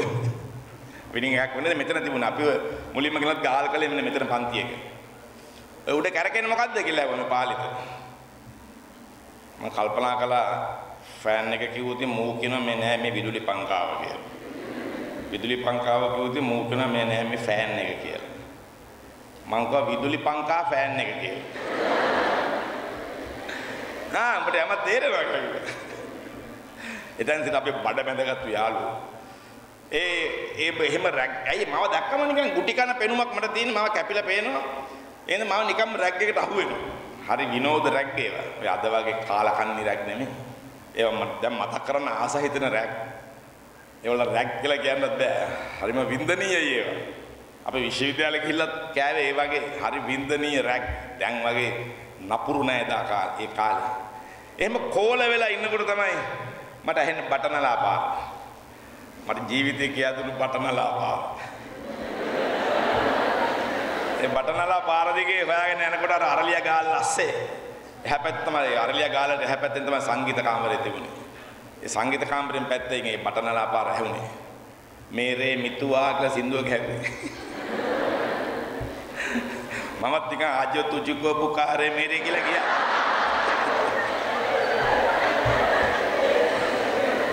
ගිහින් බලපම සුදු ගවුමක් කනගත්තු කෙල්ලෙක් පැදුරක් කෙල්ල බිම ඉඳගෙන බටනලාවක් ගහනවා. එච්චරයි.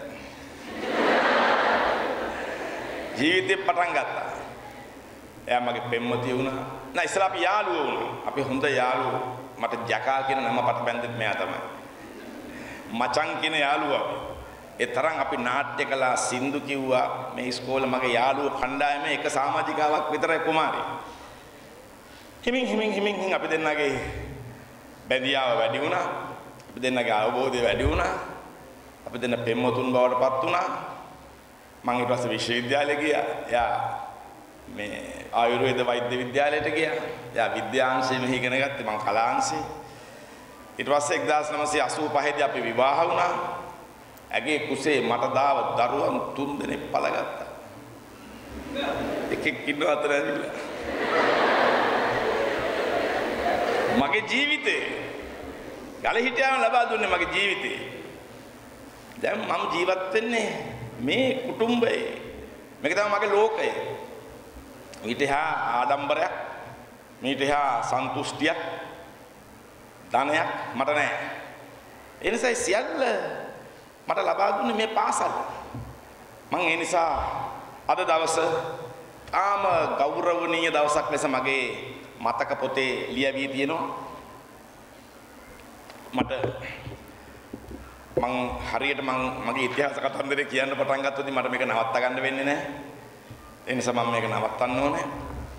මට ජීවිතය දුන්නු පාසල මට සම්මාන දෙනවා. 1986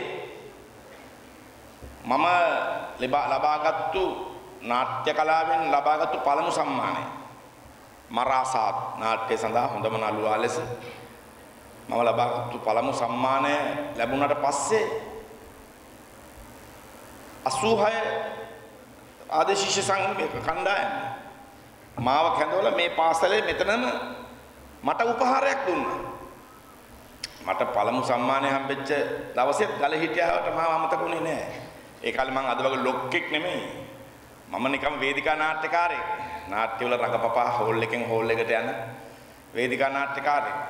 ඒත් ගල හිටියාව මාව අමතක කළේ නෑ. තව ටිකක් ලොකු වෙනකන් ඉමු යාව ගේන්න කියලා කිව්වේ නෑ.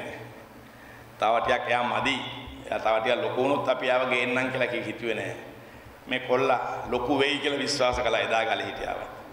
ඒ නිසා මගේ ළඟ තාම මම ගෞරවයෙන් තියාගෙන ඉන්නවා මේ සම්මානය. ගල හිටියා මධ්‍යම විද්‍යාලයේ මාව නැවත කැඳවලා මට දුන්නා ඒ වගේ අද වගේම ගෞරව සම්මාන. ඉන් වසර ගණනාවකට පස්සේ මම ජාත්‍යන්තර සම්මානයක් ලබනකොට ඒ සම්මානයේ කීර්තිය ඒ සම්මානයේ හිමිකරුවත් එක්ක වර්ධනය වෙලා පේනකොට එයත් ගලේ හිටියාවෙම කෙනෙක් බවට පත් වෙනකොට මගේ පළමු සම්මානය මට හම්බුනේ සුගතපාලද සිල්වගෙන්. එතුමා ගලේ හිටියාවේ ආදි ශිෂ්‍යෙක් නෙමෙයි. නමුත් මට ජාත්‍යන්තර පළවෙනි සම්මානය හම් වෙනකොට එහි අයිතිකරුවක් ගලේ හිටියා මධ්‍ය මහා විද්‍යාලයේම. අපි කොයිතරම් දියුණු වෙලා ගලේ හිටියාව කොයිතරම් දියුණුද? ගලේ හිටියාව කොහෙන් නතර වෙයිද? අපි මම මේ මේ සාහිත්‍ය මාසෙ මතක තියාගන්න. සාහිත්‍ය මාසෙ සැප්තැම්බර් ඔක්තෝබර් මාසවල මගේ ජීවිතේ මම චිත්‍රපටයකවත් රූපගත කිරීම බාරගන්නේ නැහැ. මම මුළුමනින්ම වෙන් කරලා තියෙන සාහිත්‍ය දේශනවලට.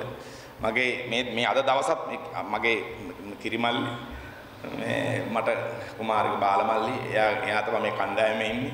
ඒ නිසා එයා මට කල්ලාතු මේ දිනේ වෙන් කරපු නිසා මේ දිනේ ඉතුරු වුණා. හෙට ඉඳලා මම ආයෙ පටන් ගන්නවා. මම ගෙදර නෑ මේ මාස දෙකේම. මම තනිකර සාහිත්‍ය උත්සව වලට පාසල් වල ප්‍රාදේශීය සභා, ප්‍රාදේශීය ලේකම් කුට්ටාශවල පවත්වන සාහිත්‍ය උත්සව වල සාහිත්‍ය දේශනයට යනවා. මම දන්නවා මාව තමයි පළමු කැමැත්ත. මේ කාගෙත් සාහිත්‍ය දේශනයකට පළමු කැමැත්ත මගේ නිසා මම ඒකට ඉඩ දෙනවා. මම ඒ සඳහා මගේ කාලය හැම පිටින් වෙන් කරලා තියෙන චිත්‍රපටයකවත් මම වැඩ වාර ගන්නෑ මේ මාස දෙකේ. ඒ හැම තැනම මම මේ කියන්නේ හැම තැනම ගල හිටියාව කියන නම ඉතා ඉහළින් ලියවෙනවා. මම මේ හැම තැනම ගිහලා මගේ ඉතිහාසය කියනවා. මොකද හේතුව මට කියන්න උවමනාව තියෙනවා. තවමත් මේ රටේ දරුවෙකුට මිනිහෙක් වෙන්න එහෙම නැත්නම් කවුරු හරි කලාකාරයෙක් විතරක් නෙමෙයි ක්‍රීඩකෙක් වේවා ව්‍යාපාරිකයෙක් වේවා කීර්තිදරයෙක් වෙන්න කැපිලා පෙනෙන පුද්ගලයෙක් බවට පත් වෙන්න තවමත් තියෙන එකම මාවත එකම වෙන කිසිවක් නැහැ එකම මාවත මේ අපි හැමදාම බනින CWW කන්නංගර මැතිතුන් බිහි කරපු මේ නිදහස් අධ්‍යාපනයම පමණයි. ඉන් එහා තාම මාවතක් පහළ වෙලා නැහැ. මේකට නොයෙක් අදන්තේට්ටම් වෙලා තියෙනවා අපි කුඩම්මගේ සැලකිල්ල ලැබිලා මේ රටේ අධ්‍යාපනය අතහැර දමලා මේක තාම මේ ගුරු කේන්ද්‍රීය අධ්‍යාපනයෙන් ශිෂ්‍ය කේන්ද්‍රීය අධ්‍යාපනයට ජාත්‍යන්තර ප්‍රමිතියට තාම මේකපත් වෙලා නැහැ. අපි හරි දිලිඳු අධ්‍යාපනයක ඉන්නේ කියන කාරණා සත්‍යයි සැබෑවයි. ඒ එසේ තිබියදී තවමත් කෙනෙකුට ගොඩ එන්න තියෙන එකම මාර්ගය පාසල පමණමයි. නිදහස් අධ්‍යාපනය පමණමයි. ඒ රහසට ඒ සත්‍යයට සාක්ෂිකරුවෙක් ලෙස මම පාසල් ගානේ ගිහිල්ලා මං කියනවා කුල්ලන්ට කෙල්ලන්ට ඉගෙන ගනිලා විභාග පාස් කරගනින්න කොහොම හරි ඔය තියෙන කුසලතාවකම විභාග පාස් කරගනින්න නැත්තම් උඹලට ගැලවීමක් නැහැ. උඹලට බේරීමක් නැහැ. මාත් එක්ක හිටපු මගේ වයසේ මගේ ගමේ මෙහෙ එන්න කලිනුත් හපකොඩි ඉස්කෝලේ මාත් එක්ක හිටිය හොඳ දක්ෂ කොල්ලෝ. මට වඩා දක්ෂ කොල්ලෝ හිටියා. හැබැයි ඒගොල්ලන්ට උනේ මොකද්ද? ඒගොල්ලෝ අර කුසලතාවයේ පමණයි හිටියේ. ඒගොල්ලෝ අධ්‍යාපනයේ ජයගත්තේ නැහැ. ඒගොල්ලෝ උසස් පෙළට ගියේ නැහැ. ඒගොල්ලෝ විශ්වවිද්‍යාලයට ගියේ නැහැ. ඒ නිසා එහෙම වුණාම අර කුසලතාවයෙන් වැඩක් නැති වෙනවා. ඒ කුසලතාවයේ වටිනාකමක් නැති වෙනවා. ඒ කුසලතාවයට අවස්ථාව පෑදෙන්නේ නැති වෙනවා. මම විශ්වවිද්‍යාලේ ගිය නිසායි සුගතපාල සිල්වා මාව දැක්කේ. මම අන්තර් පීඨ නාට්‍යවල ඊට පස්සේ අන්තර් විශ්වවිද්‍යාල නාට්‍යවල ඒවා වල කැපී පෙනුණු නිසායි එතුමා ගිල ලූෂන් ප්ලස් සිංහලට කිව්වන්න විශ්වවිද්‍යාල හොඳ කොල්ලෙක් ඉන්නවා කියලා. ඒ නිසා ලූෂන් ප්ලස් සිංහල ඒ කවුද ඒ කොල්ලා කියන්නේ කියලා ගෙන්නගෙන මාව බලලා මට තාරාව විගලිත නාට්‍යයට මාව ආරාධනා කළා. එතනින් එහාට තමයි මේ ආරංචි යන්නේ. මේ විශ්වවිද්‍යාල කොල්ලෙක් ඉන්නවා කියලා. ඒ නිසා අධ්‍යාපනය අත්‍යවශ්‍යයි. ඒක කලාකාරුවෙක් වෙන්නද වෛද්‍යවරයෙක් වෙන්නද ඉංජිනේරුවෙක් වෙන්නද මේ නෑ ක්‍රීඩකයෙක් වෙන්නද කාටත් මේක බලපානවා අනිවාර්යෙන් අධ්‍යාපනය තමයි එකම ගොඩ එන මාර්ගය අන්න ඒ කතන්දරයට සාක්ෂිකාරයෙක් විදිහට මම මේ කී කියන්නේ ඒ නිසා ඒ හැම මගේ හැම කතාවකම කලහිටියාව මධ්‍ය මහා විද්‍යාලය කියන එක බොහොම ගෞරවයෙන් තියෙනවා ඒ ගෞරවය සදාකාලික වේවා දැන් මේ නැටුම් බලනවා මම මේ හොඳ වෙස් නැටුම් කණ්ඩායමක් ඉන්නවා මේ පාසලේ ද බෙරවාදන ශිල්පියෝ තුන් දෙනෙක් ඉන්නවා. ද කොල්ල කෙල්ල ටිකක් නටනවා හොඳ හුරුවට. මට මාව පේනවා. තව ඉස්සරහට සූදානම් වෙන්න. තව උපහාර උත්සව හුඟක් කරන්න සිද්ධ වෙනවා ගලහිටියාවට. ගලහිටියාවෙන් බිහි වෙන කොල්ල කෙල්ලෝ ලංකාවේ හැම තැනම ඉතා ඉහිලෙන් අජමුණාම මේ 91 කණ්ඩායම වගේ ඊළඟ ඊළඟ කණ්ඩායම සූදානම් වෙලා ඉන්න ගලහිටියාවට ගෙන්නන්න බෙරක් ගහලා පොල් මල් නටලා උන්ව පිළිගන්න ලෑස්ති වෙලා ඉන්න. එදාට හැරමිටියෙන් හරි මමත් මේ ස්කෝල්ට ආපහු වෙනවා. බොහොම ස්තුතියි. ඔබේ අපසනාරි දින්න ඔබේ වෙලා.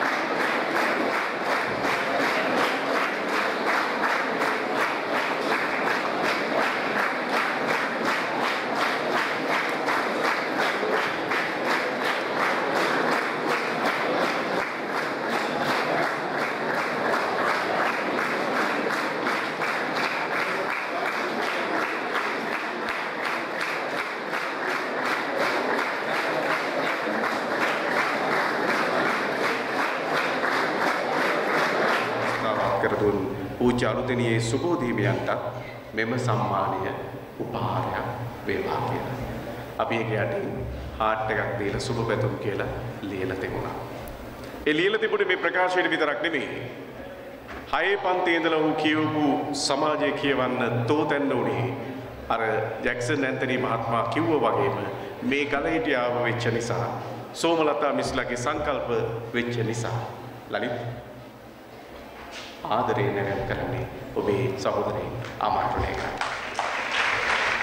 ගෞරවනීය අ, ස්වාමීන් වහන්සේගෙන් අවසරයි අ, ආරාධිත අ, ජැක්සන් ඇන්තනි කලාකරුවාණන්ගෙන් අවසරයි ආදි ගුරු මව්පියවරුනි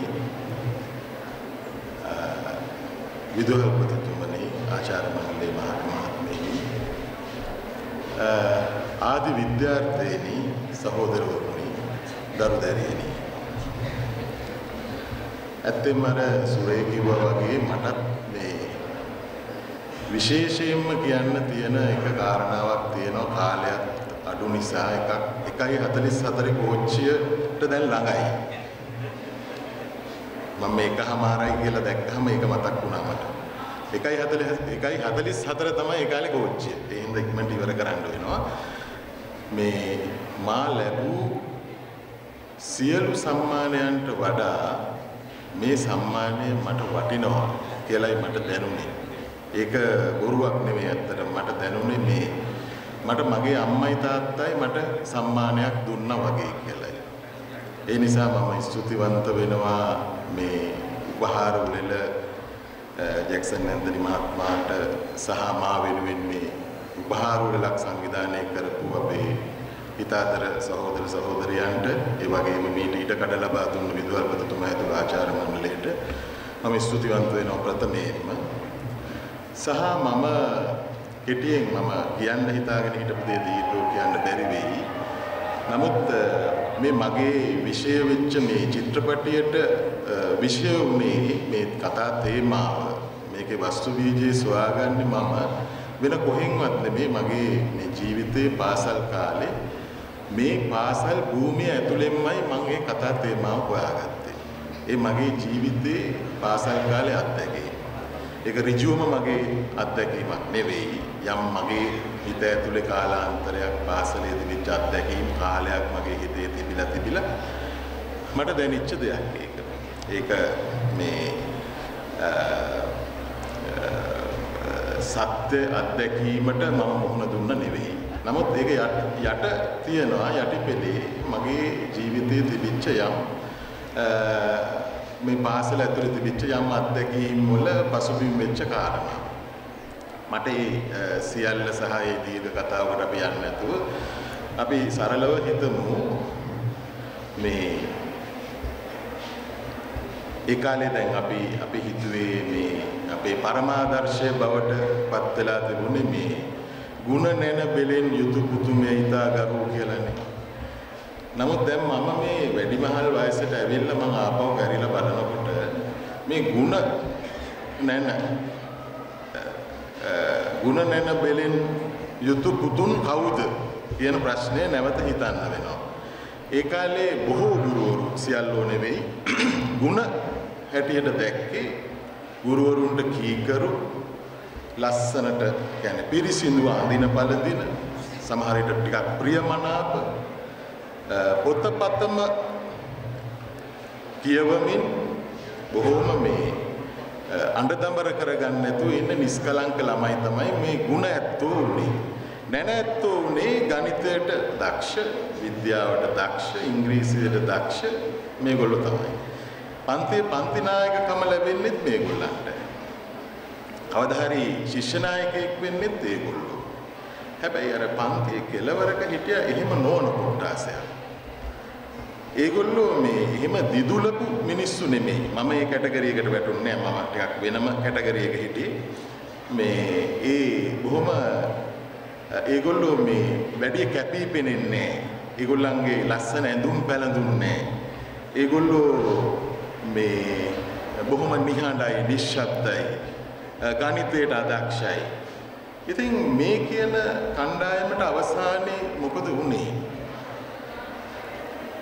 මම අද මෙතෙන්ට ඇවිල්ලා කල්පනා කරනවා මම මේ මැදි වයසේ ඉඳගෙන අර වගේ ළමයෙකුට ගුරුවරයෙක් පන්ති නායකකම දුන්නා නම් එදා ඒ ළමයා කොච්චර වෙනස් වෙයිද?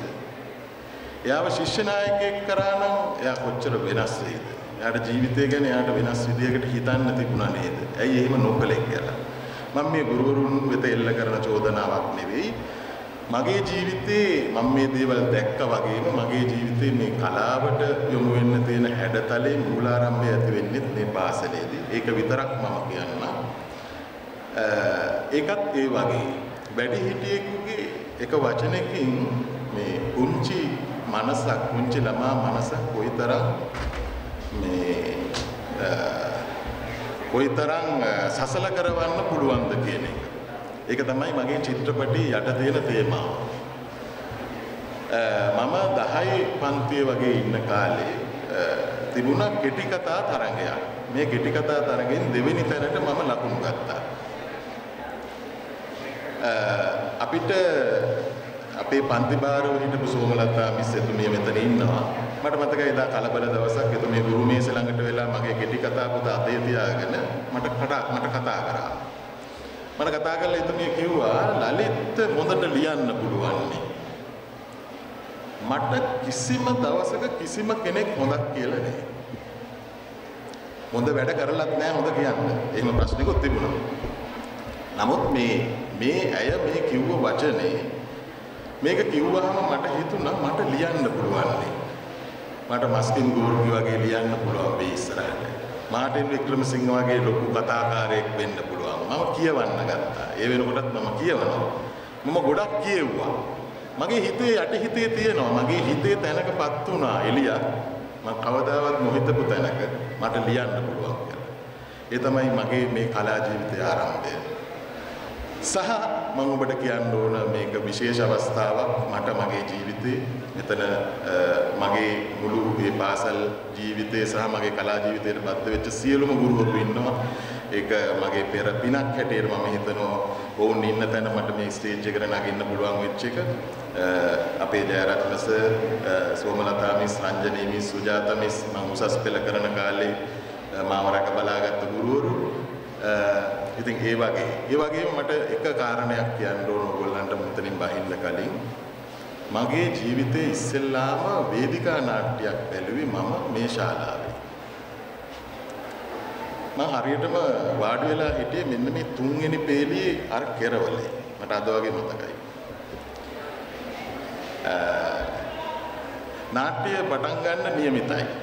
තිරේ වහලා පෙන්වන්න નિયમિතව තිබුණේ වේදිකාගත වෙන්න නියමිතව තිබුණේ සුගතපාලද සිල්වා මහත්මයාගේ මරාසාත් කියන වේදිකා නාට්‍යය. වසර 1986 කියලායි මට මතක මම අටේ පන්ති. අපි බලාගෙන ඉන්නවා තිරය මැදින් ඇරෙනකම්. නමුත් තිරය ඇරුණේ මෙන්න මෙතන. හරියටම මෙන්න මෙතන. මෙතනින් ආවා මේ ජැක්සන් අයියා එළියට. ජැක්සන් ඇන්තනි කියන්නේ අපේ පාසලේ හිටිය කෙනෙක් කියලා අපි දැනගෙන හිටියා. අපේ යුගයේ ජැක්සන් අයියා පාසලේ හිටියේ නැහැ. ඔහු 86 දී තරම් ජනප්‍රිය පුද්ගලයෙක් නොවේ කියලා දැන් මොහොතකට කලින් කිව්වට ඔහු අතිශය ජනප්‍රියයි. ඔහු ඊටාම සීමිත ටෙලිනාට්‍ය සංඛ්‍යාවක රඟපාලා තිබුණ පුංචි චරිත ජැක්සන් ඇන්තනි කියන්නේ මහා දැවැන්ත චරිතයක් 1986 වෙනකොට අපිට අපේ ගෙවල් වලට අපේ දෙමව්පියන්ට අපේ සියලු දෙනාට. නමුත් මම ඔහු සජීවීව දැකලා නැහැ. මම එදා තමයි ජැක්සන් ඇන්තනිව සජීවීව දැක්කේ මෙන්න මෙතන. මෙතන තමයි හරියටම මෙන්න මේ පෝඩියම් එක ඉස්සර. මම අතන. මරාසාත් මට අදටත් තේරෙන්නේ. පසු කාලීනවත් බැලුවා අදටත් මට තේරුම් ගන්න බෑ. ඒක ගැඹුරු නිර්මාණයක්. නමුත් ජැක්සන් අයියා රඟපානවා බලාගෙන හිටියා මම එදා. ඒක විශ්මිතයි. මට අදටත් හිතා ගන්න බෑ. එයා කොහොමද ඒක කරේ කියලා. මම නාට්‍යයට පෙම්බදින්න පටන් ගත්තේ එතනින්. මට ලොකු සතුටක් තියෙනවා ජැක්සන් අයියා ඉදිරිපිට මට මේ කතාව කියන්න ලැබුණාට. බොහොම ස්තුතියි ඔබ සියලු දෙනාටම.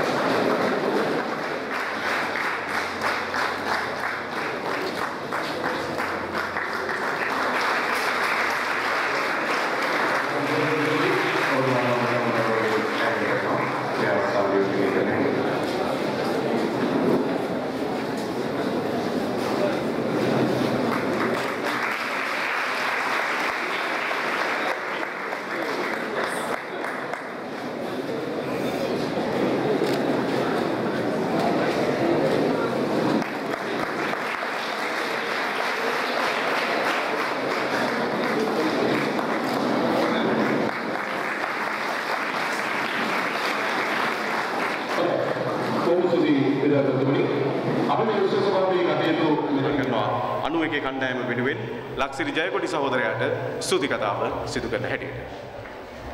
ස්වාමීන් වහන්සේගෙන් අවසරයි. මම පළමුව ස්තුතිවන්ත වෙනවා විදුහල්පති ඒ.එම්. සමන්සිරි මැතිතුමාට මෙම උත්සවයේ සංවිධානය කිරීම සඳහා භාෂා භූමිය සහ මේ දේවල් සියල්ල ලබා දීම පිළිබඳව ඒ වගේම විද්‍යාලීය නර්තන ආචාර්ය මණ්ඩලයට සහ නර්තන ශිෂුන්ට මගේ විද්‍යාලයේ ශිෂු දරුදරියන්ට සහ මාධ්‍ය ඒකකයට සහ ශිෂ්‍ය නායක පද්ධතියට හැමෝටම ස්තුතිවත් වෙනවා. මේ විශේෂ මොහොතේ අපිත් සමග කාල වේලා නොබලා රැඳී සිටියාට ඒ වගේම ඔබෙන් යම් සමාවක් ඉල්ලනවා. ඔබේ කාලේ වටිනා කාලයෙන් වැඩි කොටසක් අපි මේ මොහොතේ ඔබෙන් සොරා ගැනීම වෙනුවෙන්. ඒ වගේම මේ උත්සවයට පැමිණීම සිටින ප්‍රවීණ රංගදල ජැක්සන් ඇන්තනි මහතාට කුමාරි මුනිසිංහ මහත්මියට සහ පවුලේ සියලුම දෙනාට ලලිත් රත්නායක මහතාට සහ පවුලේ සියලුම දෙනාට අපට සිප්කිරි පෙව් අපේ කාලයේ සහ ජැක්සන් අයියා කාලේ මේ පාසලේ අධ්‍යාපනය ලබා දුන්නු සියලුම ගුරු මහත්මා මහත්මීට බස්නාහිර පළාත් සෞඛ්‍ය සේවා අධ්‍යක්ෂකතුමාට ඔබතුමා තමයි දැනට අපට සිටින මේ ශාස්ත්‍රය සම්බන්ධයෙන් මේ අවස්ථාවේ වචනයක් කතා කළ යුතුම කෙනා. ඒ නිසා තමයි ඔබතුමාට අපි ආරාධනා කළේ ස්තුතිවන්ත වෙනවා ඒ ආරාධනය පිළිගෙන පැමිණීම සම්බන්ධයෙන්. ඒ වගේම මේ උත්සවය සාර්ථක කර ගැනීම සඳහා අපිට සහයෝගය ලබා දුණු ගලීටියාව මධ්‍ය විද්‍යාලයේ ජ්‍යෙෂ්ඨ ආදිශිෂ්‍ය සංගමයේ මහලේකම්තුමා ඇතුළු කාරක සභාවට කනිෂ්ඨ ආදිශිෂ්‍ය සංගමයට. ඒ වගේම මෙම උත්සවය සභාව හැඩ කළ මාධ්‍යවේදී ඉන්දසිරි සුරවීරට ජැක්සන් ඇන්තනි මහත්මයාගේ පාසල් මිතුරන්ට මේ උත්සවය සංවිධානය කිරීමේ වගකීම කරටගත්ත 91 කණ්ඩායමේ ආදරණීය සොයිර සූරියන්ට. ඒ වගේම සෑම උත්සවයකදී අපි සංවිධානය කරන වැඩි බර කොටසක් දරන්නේ අපේ කාලේ හිටපු ප්‍රධාන ශිෂ්‍ය නායකයා පියල් සුසන්ත පෙරේරා ටිට්‍රෝ ලංකා ගෑස් සමාගමේ පූර්ණ අනුග්‍රහය පාසලට ලබා දුන්නා මෙම උත්සවයට සමගාමීව පාසලට යමක් කළ යුතු නිසා වෙයි. ස්තුතියි ඔබට ඉගෙනගත් පාසල වෙනුවෙන් ඒ ලබා දුන්නු දායකත්වයට. ඒ වගේම මෙම උත්සවය ආවරණය කරපු සියලුම මාධ්‍යවේදීන්ට පාසලේ මාධ්‍ය ඒකකයට ජනමාධ්‍ය ආයතනය වෙනුවෙන් පැමිණි සියලුම දෙනාට මෙම උත්සව සභාවට සහභාගී වෙච්ච විද්‍යාලීය ආචාර්ය මණ්ඩලයට සහ අනධ්‍යයන කාර්ය මණ්ඩලයට මෙම ශාලාව සකස් කිරීම සම්බන්ධයෙන්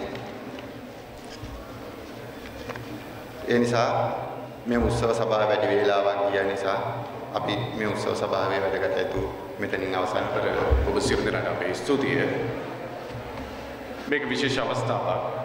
අර ජැක්සන් ඇන්තනි ප්‍රාර්ථනා කළා වගේ මේ පාසලේ වැඩි වැඩියෙන් මෙවැනි උපහාරවලවල් තියන්න අවස්ථාව උදා වේවා. ජැක්සන් ඇන්තනි මහත්මයාගේ මම පවා මෙතනින් යන්නේ ලේ ටිකක් අලුත් කරගෙන මොකද ඔබලාගෙන් ලබන ආభాෂය සහ ආදර්ශය අතිශය වැදගත් වෙන නිසා. ඒ නිසා මෙතන හිටපු මම හිතනවා දරුදරියන්ට ඒ ශක්තිය ලැබේවි නිරන්තරයෙන්ම අඩුම තරමින් තව අවුරුදු 10කින් මෙතන ඉන්න පිරිස අතරින් මේවැනි කලාකරුවන් බිහි වෙන්න යෝධ ශක්තියක් බවට අනුමගේ කණ්ඩායම ගත්ත මේ ප්‍රයත්නය මේ ස්වාමය අතිශය වැදගත් වේවා කියන ප්‍රාර්ථනාවෙන් අර බුදුහාමුදුරුවෝ කිව්වනේ කිඹුල්වත් නුවරින් හමන ශාක්‍ය වංශිකයන්ගේ සුළඟ දහඩිය සුළඟ සුවඳත් හරිම සැපයි කියලා මේ පාසලේ මේ ගෙවපු කාල සීමාව ඇතුලේ අපි විඳපු දේ හරි සුන්දරයි. ජීවිතේ හැමදාම ඒ දේවල් මතක තියෙනවා. අනාගතයට ලොකු ගැම්මක්. බොහොම ස්තුතියි ඔබ සියලු දෙනාට අපි ජයග්‍රහී දවසක් හැමෝටම ප්‍රාර්ථනා